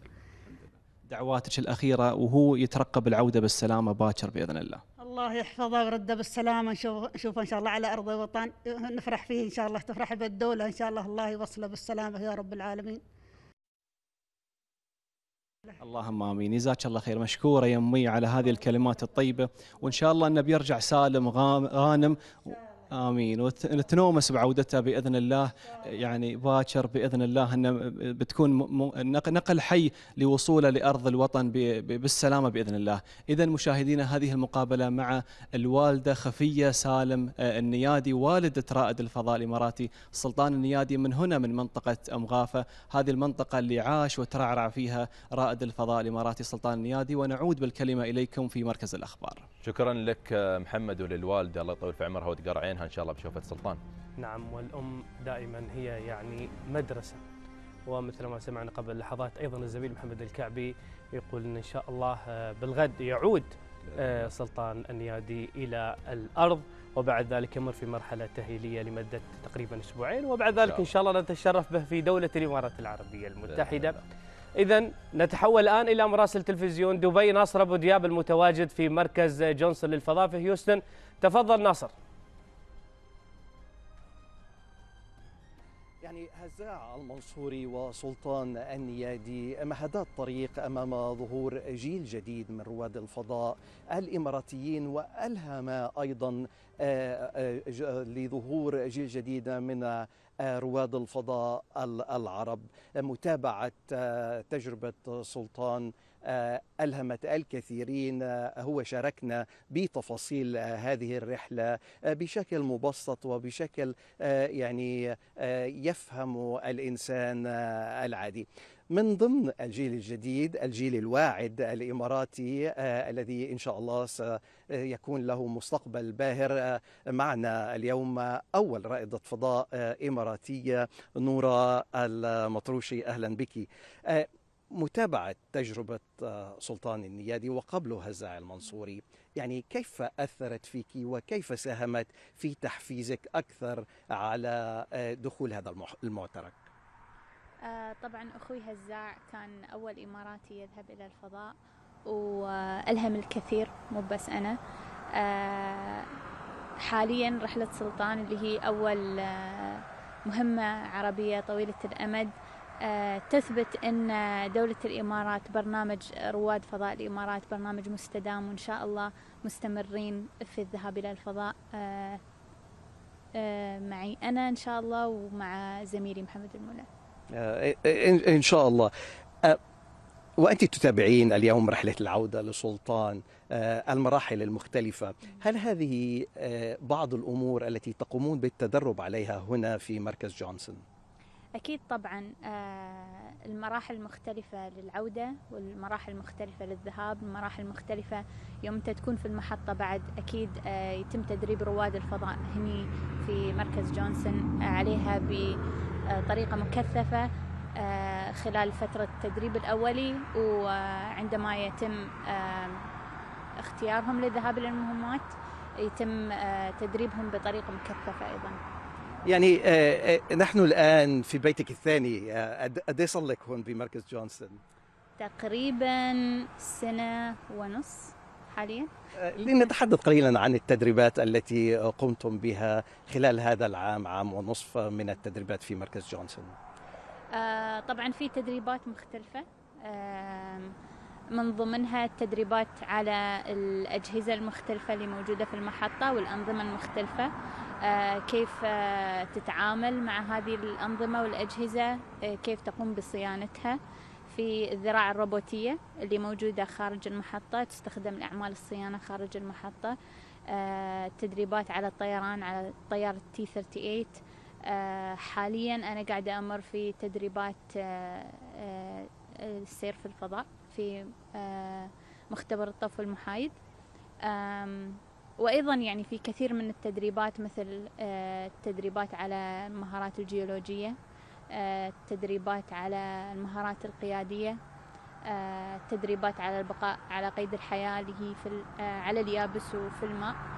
فمثل ما قلت لك يعني هي تدريبات مختلفة متنوعة كلها تكسب رائد الفضاء مهارات مختلفة يحتاجها عشان يروح إلى الفضاء هل هناك شعور بالمسؤولية بما أنك أنت أول رائدة فضاء إماراتية وإن شاء الله ستكونين أول رائدة فضاء عربية تنطلق في مهمة طويلة الأمد مهمة فضائية كيف هو كيف هو الشعور وكم هو كبير حجم المسؤولية؟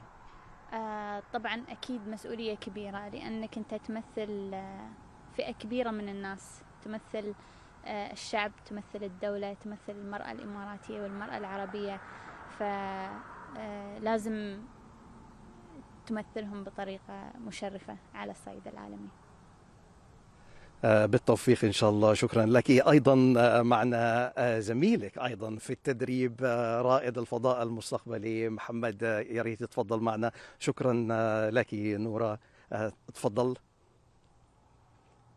أهلا أخ محمد. آه، يعني حدثتنا قليلا نورا عن عن التدريبات، هل التدريبات التي تخضع لها آه، في مركز جونسون شبيهة أم مختلفة؟ هل يعني كل شخص فيكم له تدريبات مختلفة؟ طبعا التدريبات بشكل عام آه، وحدة، طبعا في أساسيات لتدريب عمل رواد الفضاء وفي تدريبات أساسية لازم على رواد الفضاء اجتيازها إن شاء الله لجاهزيتهم للمهام المستقبلية لكن ككل التدريبات هي وحدة. شو أبرز التحديات أنت كمتدرب الآن لتصبح رائد فضاء مستقبلي؟ ما هي أبرز التحديات التي تواجهها؟ طبعا من أبرز التحديات تكون اللي هي العوامل المختلفة من تدريبات رواد الفضاء.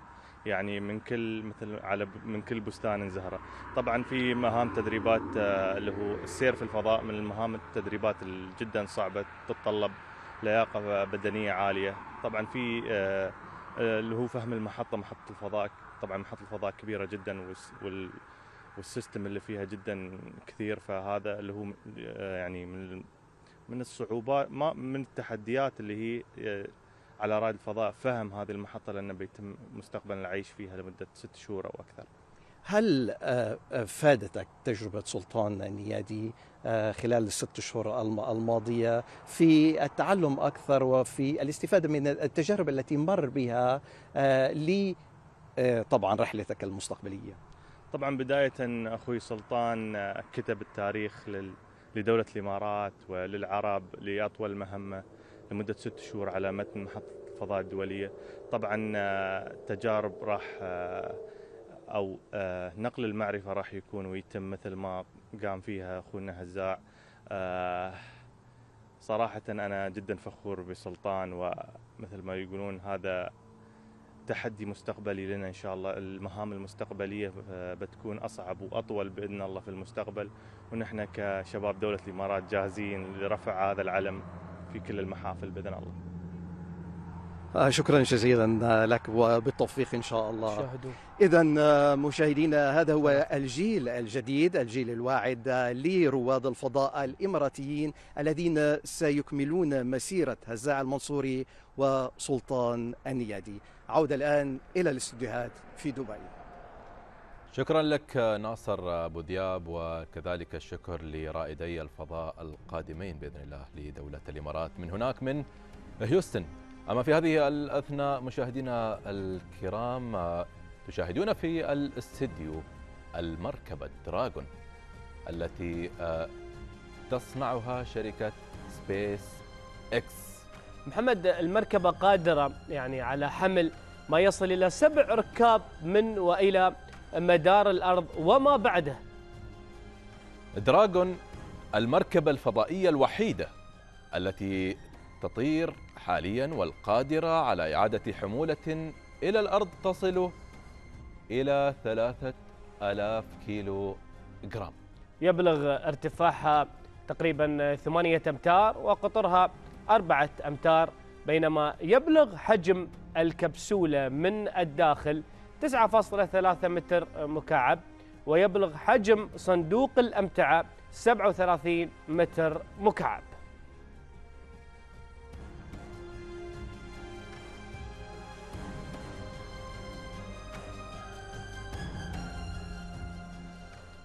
دقائق تفصلنا عن اللحظة الصفر لانفصال المركبة دراغون عن محطة الفضاء الدولية وإقلاعها عائدة إلى الأرض في رحلة تستغرق 17 ساعة حاملة على متنها سلطان النيادي وزملائه الهبوط المتوقع بإذن الله غدا في تمام الساعة الثامنة وسبع دقائق بتوقيت دولة الإمارات العربية المتحدة قرب سواحل فلوريدا وسنكون معكم في تغطية خاصة من الساعة السابعة والنصف صباحا بإذن الله تعالى. أما آه الآن فمعا نتعرف على البيت الذي أقام فيه سلطان النيادي ستة أشهر بعيدا عن الديار محطة الفضاء الدولية المدينة العائمة في الفضاء. نعم هي بمثابة قمر صناعي ضخم يسبح حول الأرض وبيت لرواد الفضاء الذين يتبادلون في بعثات خاصة كل ستة أشهر. نتعرف عليها أكثر مع الزميلة جنار جردلي بتقنية الواقع الافتراضي. تعرف محطة الفضاء الدولية اختصارا ب ISS مدينة تدور حول الأرض.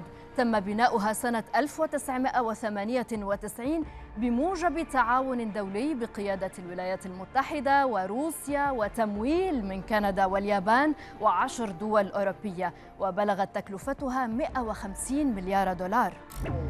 تدور المحطة على ارتفاع يتراوح ما بين 370 و 460 كيلومتر فوق سطح الأرض بسرعة 28 ألف كيلومتر في الساعة أي حوالي 7.66 كيلومتر في الثانية الواحدة حيث تكمل دورة واحدة كل 90 دقيقة بينما تكمل نحو 16 دورة حول الأرض في اليوم. يبلغ وزن المحطة الدولية للفضاء 500 ألف كيلوغرام ومساحتها نصف هكتار حيث يبلغ طول المحطة حوالي 109 متر وعرضها 72.8 متر ما يوازي مساحة ملعب كرة قدم كبير. وتتكون من جسم رئيسي وألواح شمسية تمدها بالطاقة. وتمتد هذه الألواح الشمسية على مساحة واسعة تزيد على نصف مساحة ملعب كرة القدم. تتسع لطاقم من ستة رواد فضاء وتستمر إقامتهم ستة أشهر. تتكون المحطة من الداخل من ممرات وغرف متناهية الصغر ويوجد داخلها على الأقل أربعة مختبرات لإجراء البحوث والتجارب. تحتاج المحطة لأعمال صيانة دورية بشكل يومي وأسبوعي من الداخل كما من الخارج حيث يخرج رواد الفضاء في بدلات فضائية لإجراء أعمال الصيانة. تستمد محطة الفضاء الدولية الأكسجين من خلال عملية تحليل كهربائي تسمى إلكترولايسيس تقوم على استخدام التيار الكهربائي المتولد من الألواح الشمسية للمحطة لتقسيم جزيئات الماء إلى إيدروجين وغاز الأكسجين ومن ثم الحصول على الهواء. تم إنشاء المحطة لتعمل لمدة 15 عاما ولكن تم تمديد العمل بها إلى 2024 فقط حيث تعتزم ناسا تحويل تركيزها إلى دعم المهمات المأهولة إلى القمر والمريخ خلال العقود القادمة.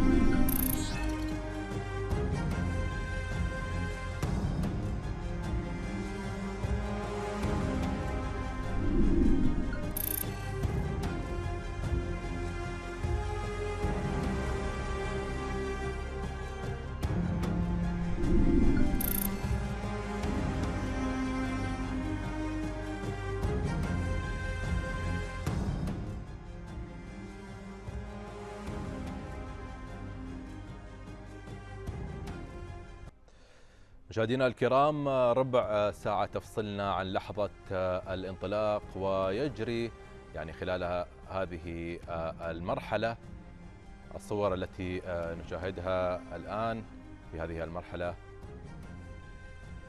يتم التأكد من بيانات المركبة الدراغون وهذه الصور لأجهزة الملاحة وكذلك الشاشات المتواجدة أمام رواد الفضاء. ومتابعة كافة التفاصيل المتعلقة بعملية الإطلاق نعم هي تقريبا يعني دقائق قليلة ربع ساعة تقريبا.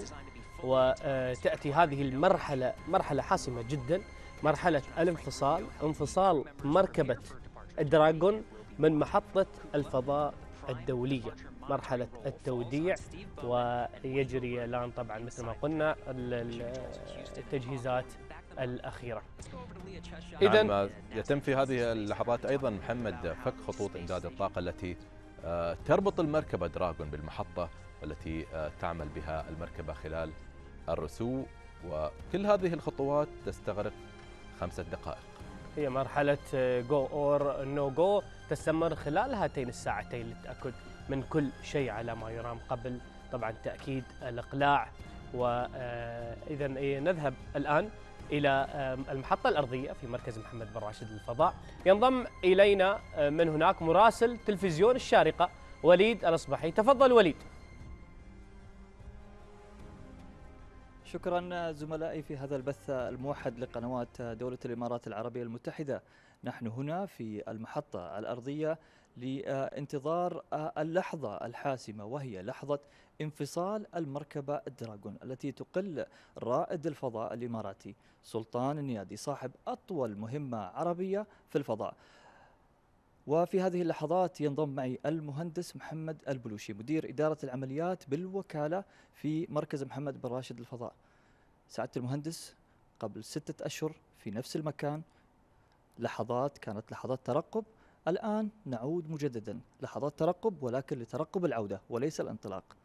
نعم لا شك لحظة الانطلاق كانت لحظة ترقب.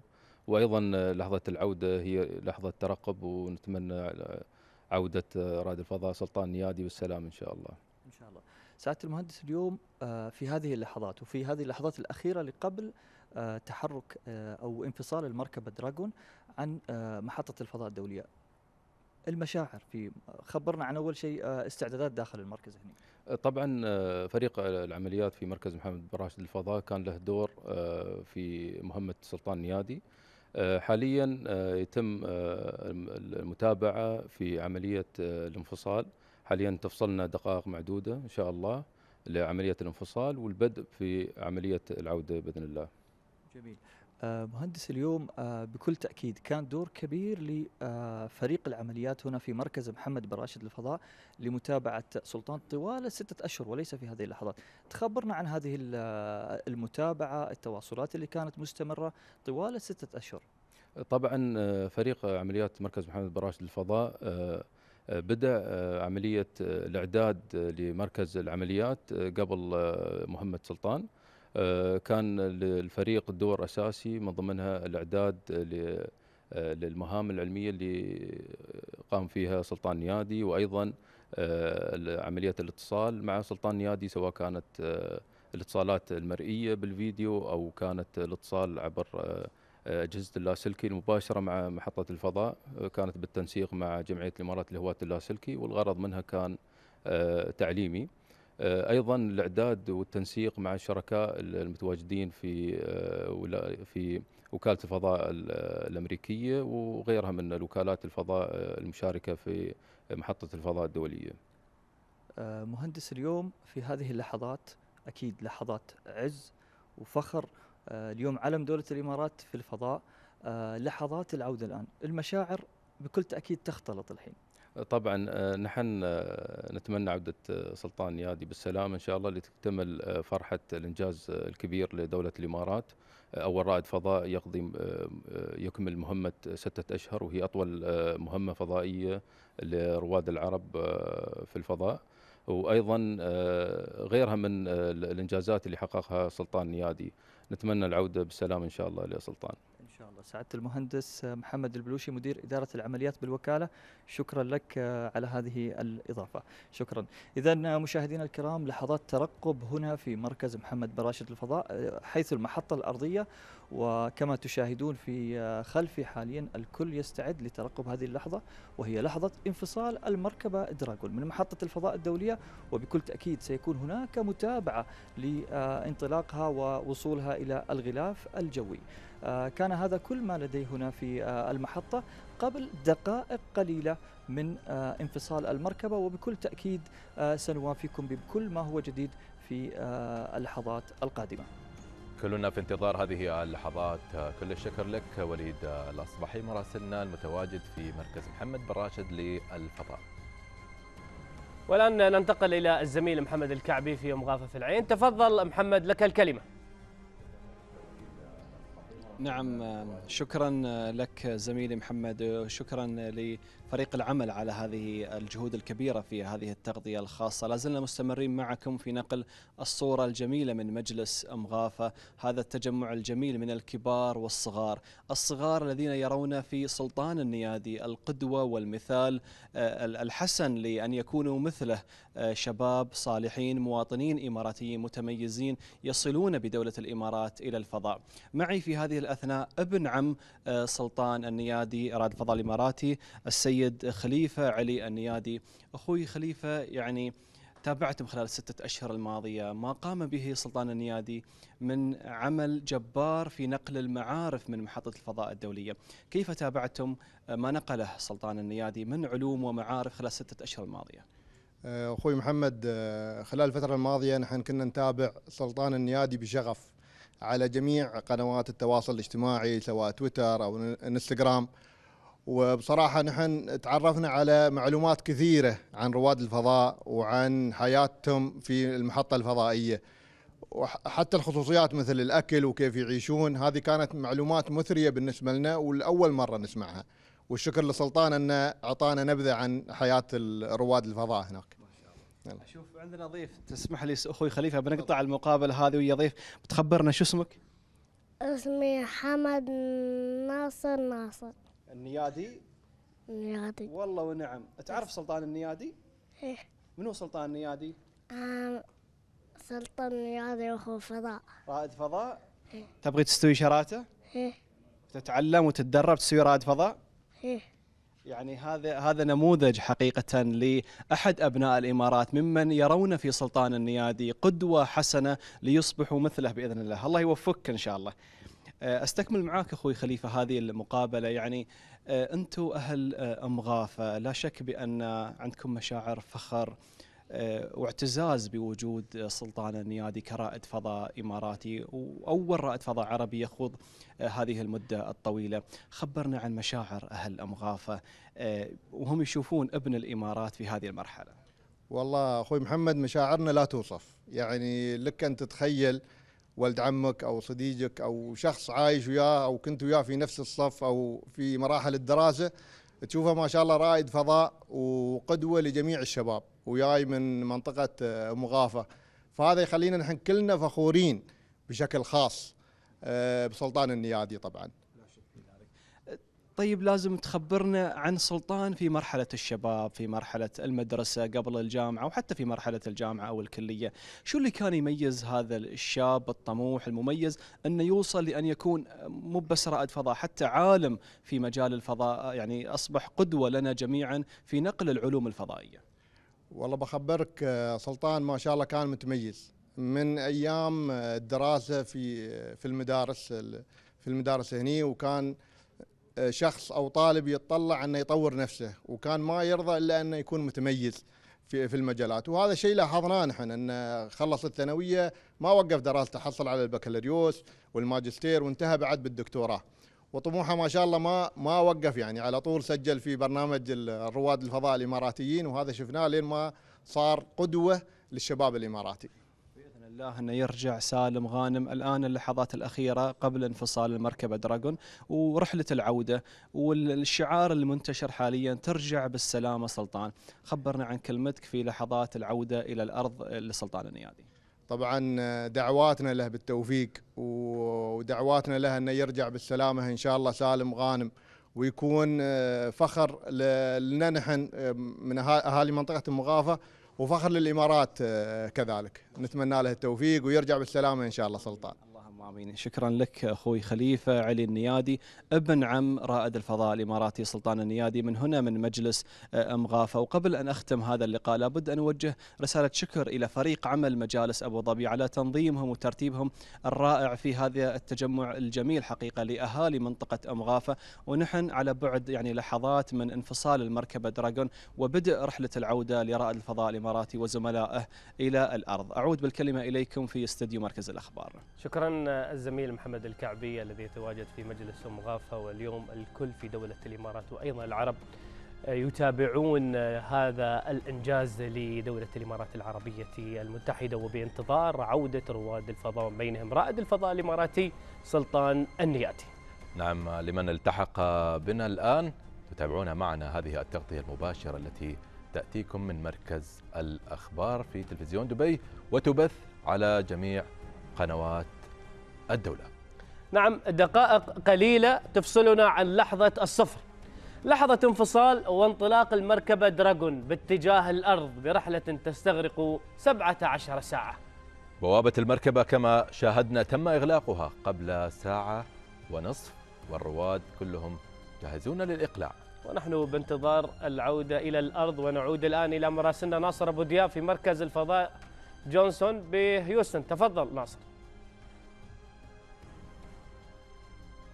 نعم يعني كما ذكرتم دقائق آه، تفصلنا عن موعد الانفصال وموعد عودة آه، المركبة دراغون إلى آه، كوكب الأرض. هنا في مركز جونسون يعملون في غرفة المراقبة على متابعة التفاصيل الدقيقة لعملية الانفصال. كثير من الأمور يجب التأكد منها لضمان سلامة الرواد وعودة آمنة لهذه المركبة. يعني تفصلنا دقائق على إعطاء الإشارة لعملية آه، الانفصال أو لبدء عملية الانفصال. مراحل عودة مركبة دراغون إلى الأرض آه، طبعا تمر في آه، عدة مراحل. تبدأ باشتعال محركات الدفع لمغادرة محطة الفضاء الدولية ومن ثم اشتعال محركات الدفع لتخفيض المدار ومن ثم انفصال قاعدة المركبة. بعدها يأتي اشتعال محركات الدفع للخروج من مدار محطة الفضاء الدولية. طبعا يعني في البداية آه، دراجون آه، تدور في مدارات محطة الفضاء الدولية قبل أن آه، يعني تبدأ بالابتعاد عنها رويدا رويدا وقبل أن تفقد الاتصال مع محطة الفضاء الدولية في المرحلة الأولى. يعني هناك اتصال مباشر بين محطة الفضاء الدولية والمركبة دراغون ولكن ما أن تنطلق المركبة خارج المدار آه، ينقطع الاتصال بين محطة الفضاء الدولية والمركبة دراغون آه، ليستلم آه، الاتصال مراكز التحكم والمراقبة سواء هنا في هيوستن أو في كاليفورنيا.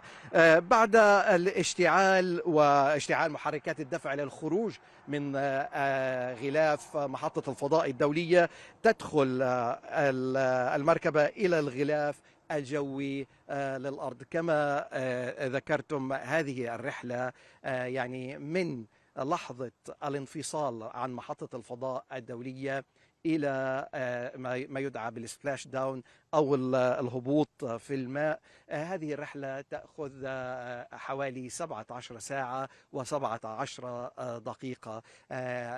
رحلة يعني طويلة نوعا ما ولكنها كل كل هذه الرحلة تكون مسيرة اوتوماتيكيا. يعني دراجون تسير لوحدها دون تدخل من رواد الفضاء إلا إذا اضطروا للتدخل. طبعا هم مدربين على التدخل في حال حدوث خلل ما ولكن إن شاء الله لن يحدث آه، أي خلل ولن يضطروا إلى التدخل. المرحلة الأولى كما ذكرنا هي عملية مشتركة بالتحكم والمراقبة ما بين غرف التحكم المختلفة محطة الفضاء الدولية آه، مركز جونسون ومركز كاليفورنيا سبيس إكس وكذلك من مركز محمد بن راشد للفضاء في دبي. ومن بعدها وما أن تنطلق المركبة خارج الغلاف الجوي المدار محطة الفضاء الدولية إلى الغلاف الجوي ينقطع الاتصال. آه، أتوقع أنه خلال هذه المرحلة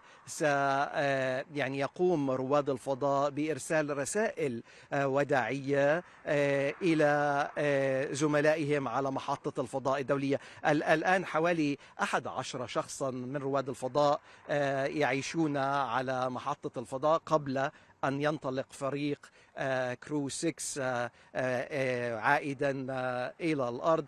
فريق كرو 6 سلم المهمة إلى فريق كرو 7 ليعود إلى كوكب الأرض بإذن الله خلال يعني تقريبا أكثر من 17 ساعة.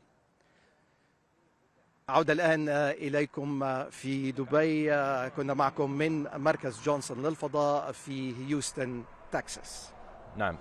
ناصر معلومات يعني ما شاء الله وافية عن هذه الرحلة وعملية الإطلاق والوصول. نعم. سؤال يستحضرني يعني في هذه الأثناء هنالك في هيوستن كيف هو شكل محطة التحكم والتواصل ما بين الفريق المتواجد في المحطة حيث تتواجد ومع رواد الفضاء هنا؟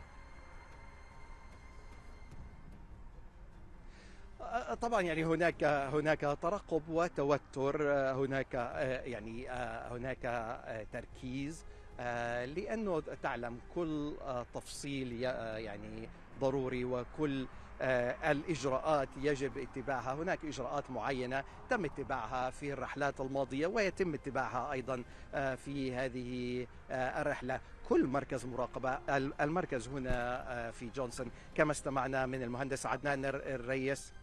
كما استمعنا من المهندس عدنان الرئيس يعني كل مركز مراقبة له دور محدد في إدارة هذه الرحلة لضمان وصول رواد الفضاء وعودتهم إلى الأرض سالمين بإذن الله. طبعا ناصر أبو دياب نحن بانتظار لحظة اللحظة الحاسمة لحظة الانفصال انفصال المركبة دراجون من محطة الفضاء الدولية. يعني لن نترك سوف ناخذ كثير من من المعلومات لديك يعني لو تحدثنا عن ما هي الصعوبات خاصة في هذه اللحظات التي تواجه مرحلة الانفصال من محطة من محطة دراغون ومحطة الفضاء الدولية. نحن نحن يعني أحد أهم أهم الأمور هي التأكد من المسافة بين المركبة ومحطة الفضاء الدولية لضمان عدم حدوث تسريبات المركبة مرتبطة بمحطة الفضاء الدولية من نعم ناصر نحن يعني في هذه اللحظات اسمح لنا على المقاطعة. ناصر في هذه اللحظات تبدأ المركبة دراغون عملية الانفصال عن محطة الفضاء الدولية.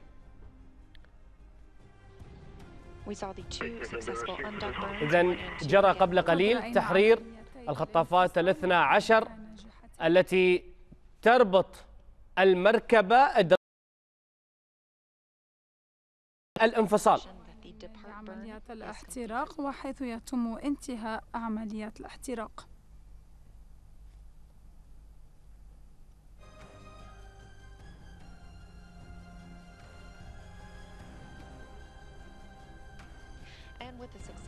ومع عملية الانفصال الناجحة من المتوقع بأن عملية الانفصال سوف تنتهي وتبدأ عملية العودة في تمام الساعة الثالثة وخمس دقائق بتوقيت الإمارات ونحن بالطبع ننتظر التأكيد من الجانب الآخر. نعطي الكلمة لجاري وليا. شكرا لك على فعلا أعطائنا هذه المعلومات. الانفصال كان في الوقت المحدد الثالث وخمس دقائق بتوقيت الإمارات. ويمكننا أن نرى هذا الصورة التي تبين لنا الرحلة فوق محيط الهادئ.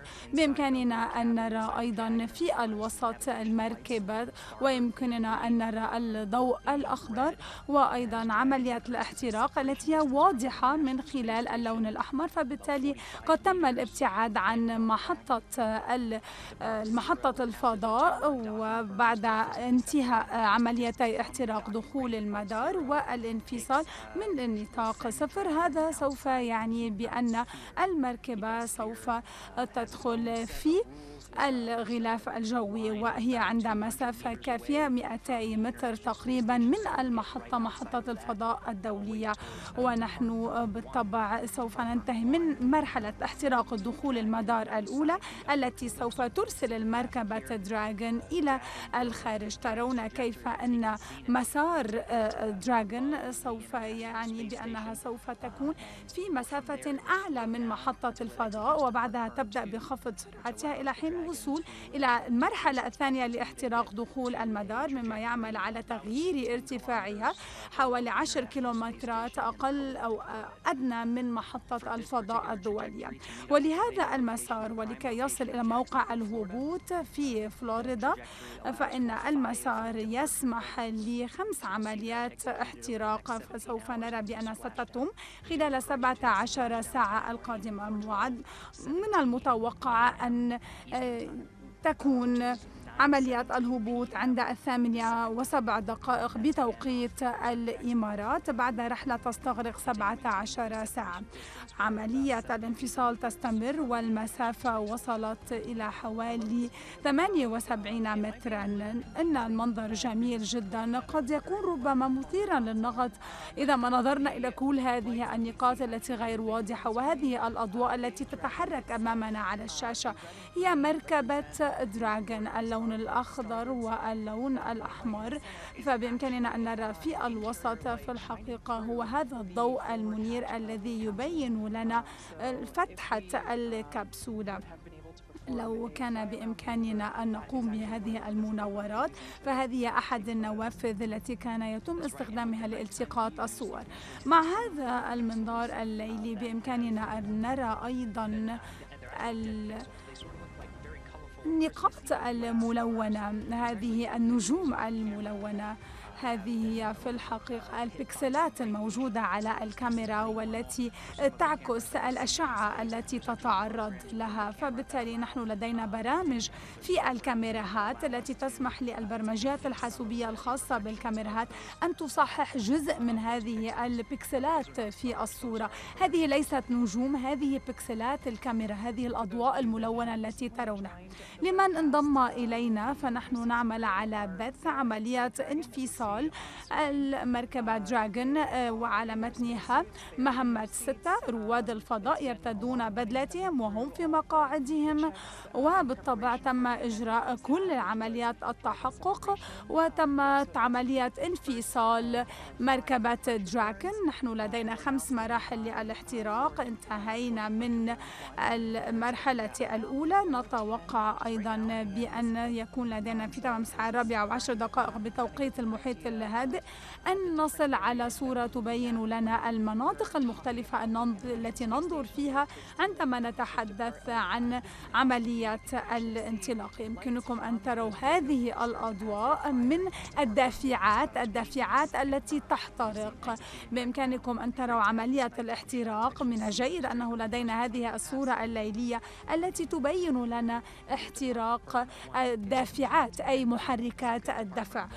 مرحلة الاحتراق الأولى كانت طبيعية وحصلت كل الأمور والإجراءات فيها كما هو كان متوقعا وهي طبيعية. نستمر بالتغطية إلى حين أيضا الانتهاء من المراحل المتبقية لعملية احتراق دخول المدار. ونحن هنا في هوثورن بالطبع نتابع عن كثب هذه العملية. نرى بأنه قد تم انتهاء احتراق دخول المدار الأول كل شيء طبيعي. الآن سوف يتم ارتداء البدلات للإجراء أربعة أربع فارز صفر صفر. ونذكركم بالطبع بأنه سوف يكون لدينا الخروج من المدار وهذا سيكون الخروج الكامل الذي يسمح لنا ببدء رحلة الهبوط. تلقيناكم. شكرا على هذه المعلومات ونشكر محطة الفضاء الدولية التي استضافتنا لمدة ستة أشهر. وبالطبع نشكركم أنتم الطاقم الأرضي وسوف نراكم قريباً. نحن في المحطة نسمعكم شكرا لكم سوف نشتاق إليكم. عودوا إلى أسركم بسلامة. ونهنئكم على المهمة التي أنجزتموها. ونراكم في المحطة الأرضية بعد 17 ساعة.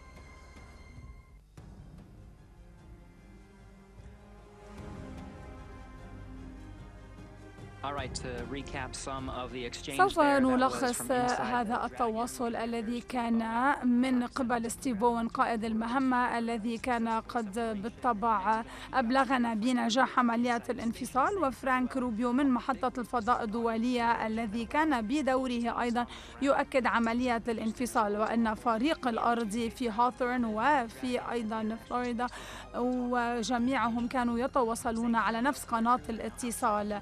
نحن نرى بأن الطاقم قد دخل الغلاف الجوي وأيضا قد حصلوا على الضوء الأخضر للمرحلة الثانية للاحتراق التي سوف تبدأ. جاري نحن قد تحدثنا عن الغلاف الخارجي فنحن نعرف بأنه بالنسبة إلى محطة الفضاء فهذه المحطة كما ترون أمامكم على الشاشة وكما يشير الاسم هذا هو الغلاف الذي ينبغي أن يكون موجودا لكي نتمكن من دخول فمع الاقتراب من محطة الفضاء الدولية. لدينا هذا الغلاف الوهمي الذي هو بمسافة 200 متر من حول محطة الفضاء الدولية. وكما قال جاري لقد تم الخروج من هذا الغلاف. أما الآن الغلاف الثاني آه، هو الاقتراب بالطبع من الغلاف الثاني والاقتراب من الإهليج. الإهليج هو عند مسافة كيلومترين وما أن يتم الاقتراب من الإهليج وما أن تخرج المركبة من هذا الخط الوهمي. ينبغي أن تكون في مسار السير لمدة 24 ساعة فبالتالي سوف يتم الابتعاد عن الإهليج. ونحن نعرف بأنه قد تم من قبل إجراء الكثير من المناورات للتدرب على عملية الابتعاد هذه. مرة جديدة نحن نتعقب مركبة دراجون وابتعادها عن محطة الفضاء الدولية لقد انفصلت في الوقت الذي كان قد حدد من قبل وهو الثالثة وخمس دقائق بتوقيت الإمارات. سوف نستمر بتغطية بالطبع عملية الخروج من الغلاف الجوي والاقتراب من الإهليج.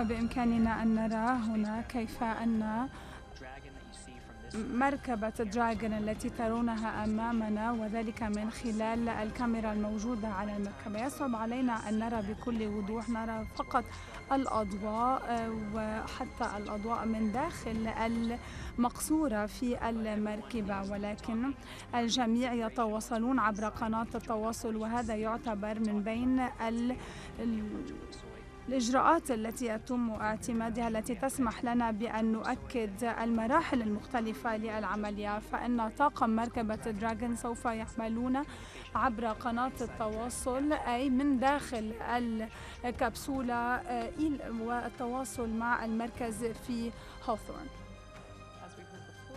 كما سمعنا من قبل بأن الطاقم حصلوا على الموافقة خلع البدلات الفضاء لأنهم سيشعرون براحة أكبر في المراحل القادمة.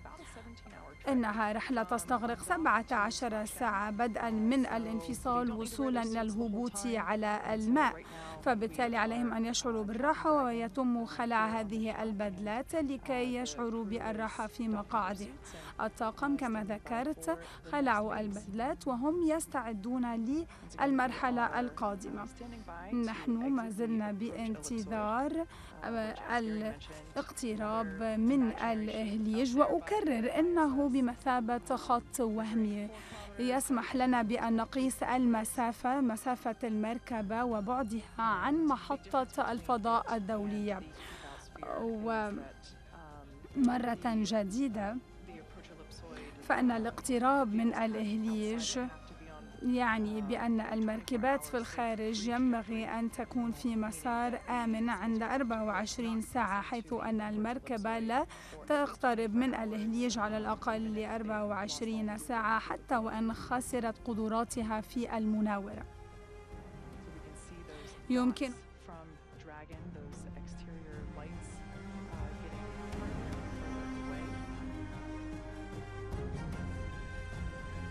إذا تابعنا عملية انفصال ناجحة للمركبة دراغون. لله الحمد.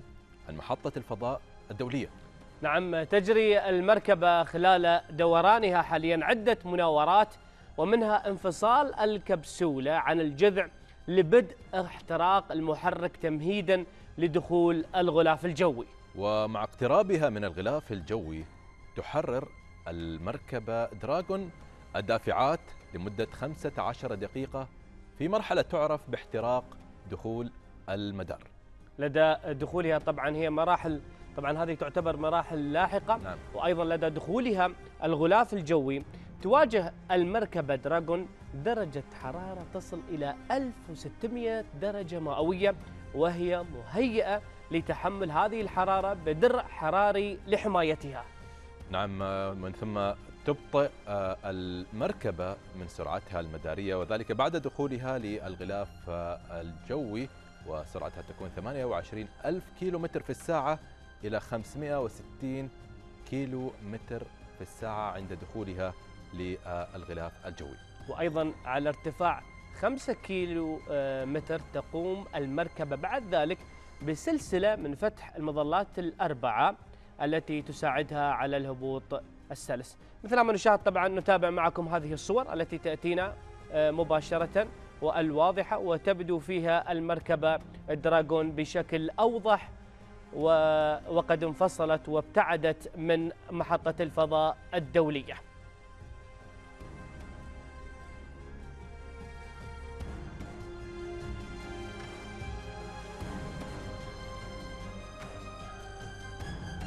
إذا بعد وصولها إلى آه، آه، بعد الغلاف الجوي هناك تقوم بسلسلة من فتح المظلات الأربعة التي تساعدها على الهبوط السلس على الهواء وأيضا تحميها من الارتطام تكون المركبة قد يعني خفضت سرعتها في هذه المرحلة إلى 25 كيلومتر في الساعة.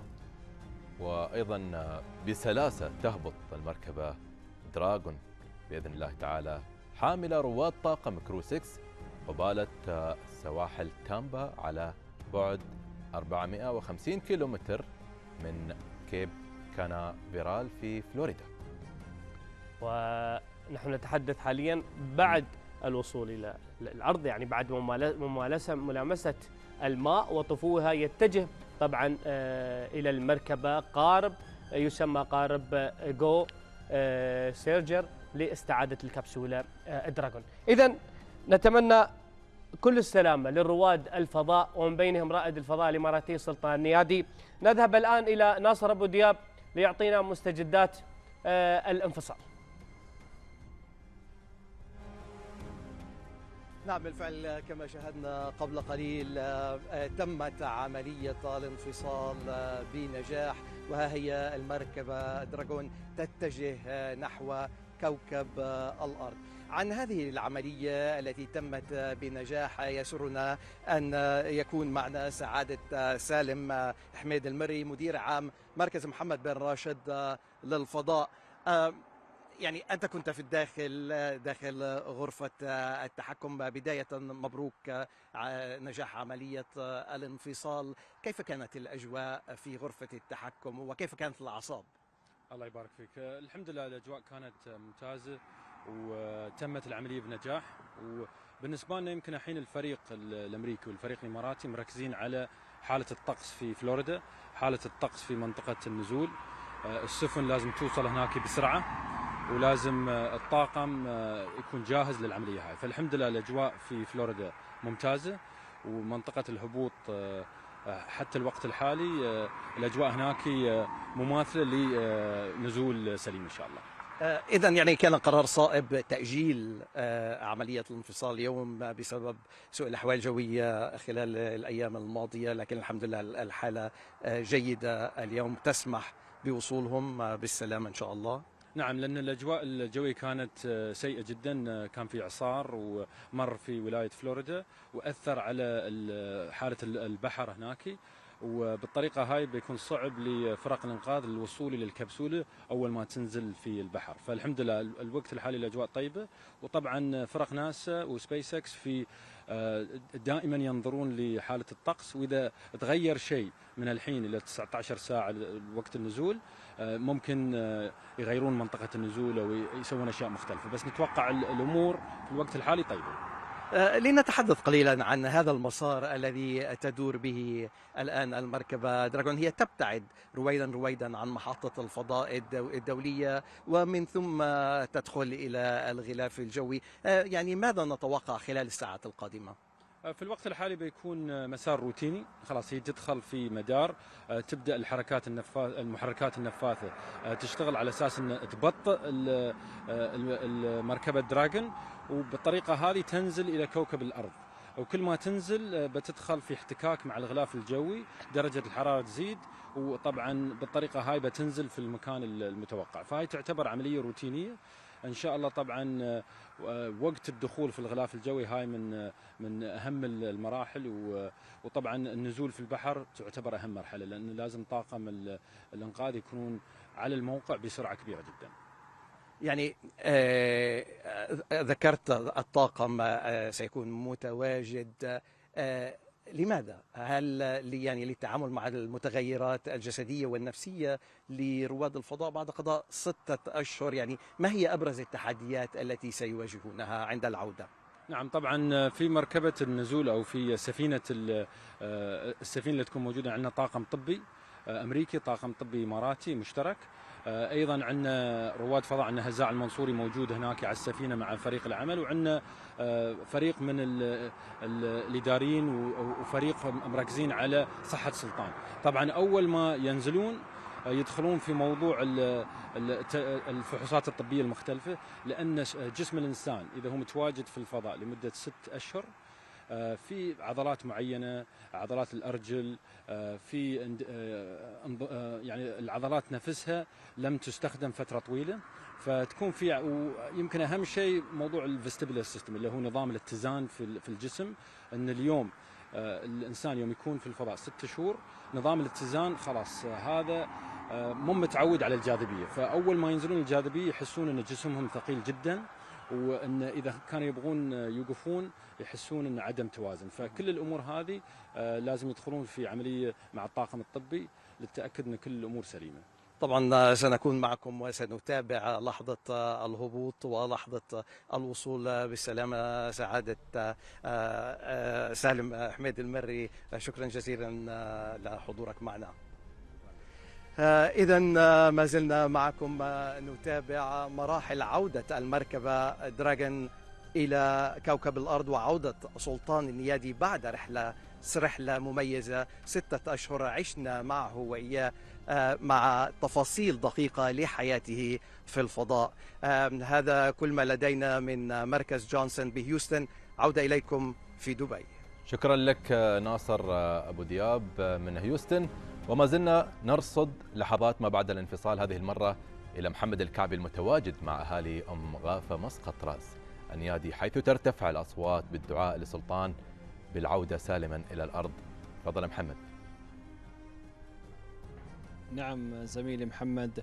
آه، مرة أخرى من مجلس أم غافة حقيقة كانت هناك مشاعر مختلطة ما بين آه، الترقب والفخر والسعادة بنجاح مهمة آه، طموح زايد اثنان ونجاح انفصال المركبة دراجون عن محطة الفضاء الدولية وبدء مرحلة العودة إلى كوكب الأرض. الحقيقة الكل كان يدعو لابن منطقتهم لأخوهم وابن عمهم وصديقهم وجارهم رائد الفضاء الإماراتي سلطان النيادي حقيقة كانوا يعني كانت أجواء جدا إيجابية بنجاح مهمة الانفصال وبدء رحلة العودة. شاهدنا يعني لقاء مع والدة سلطان النيادي التي كانت تدعو حقيقة بمشاعر الأم آه، الرؤوم آه، يعني آه، والترقب لعودة ابنها سلطان النيادي إلى كوكب الأرض.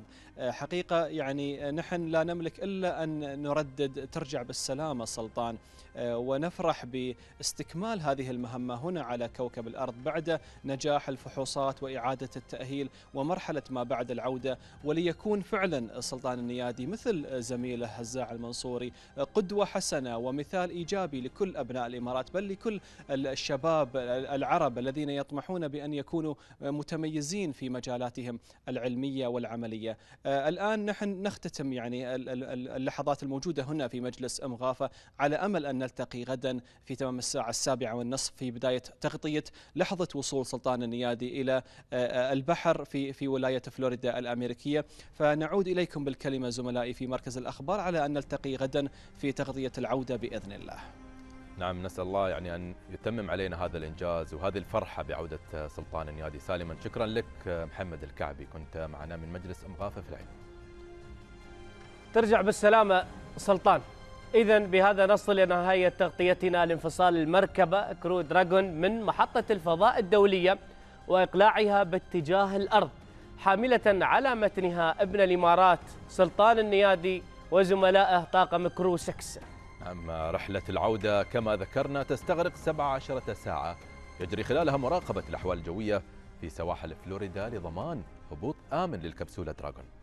نعم ويتوقع وصول الكبسولة دراغون وهبوطها قبالة سواحل فلوريدا غدا في تمام الساعة الثامنة وسبع دقائق صباحا بتوقيت الإمارات.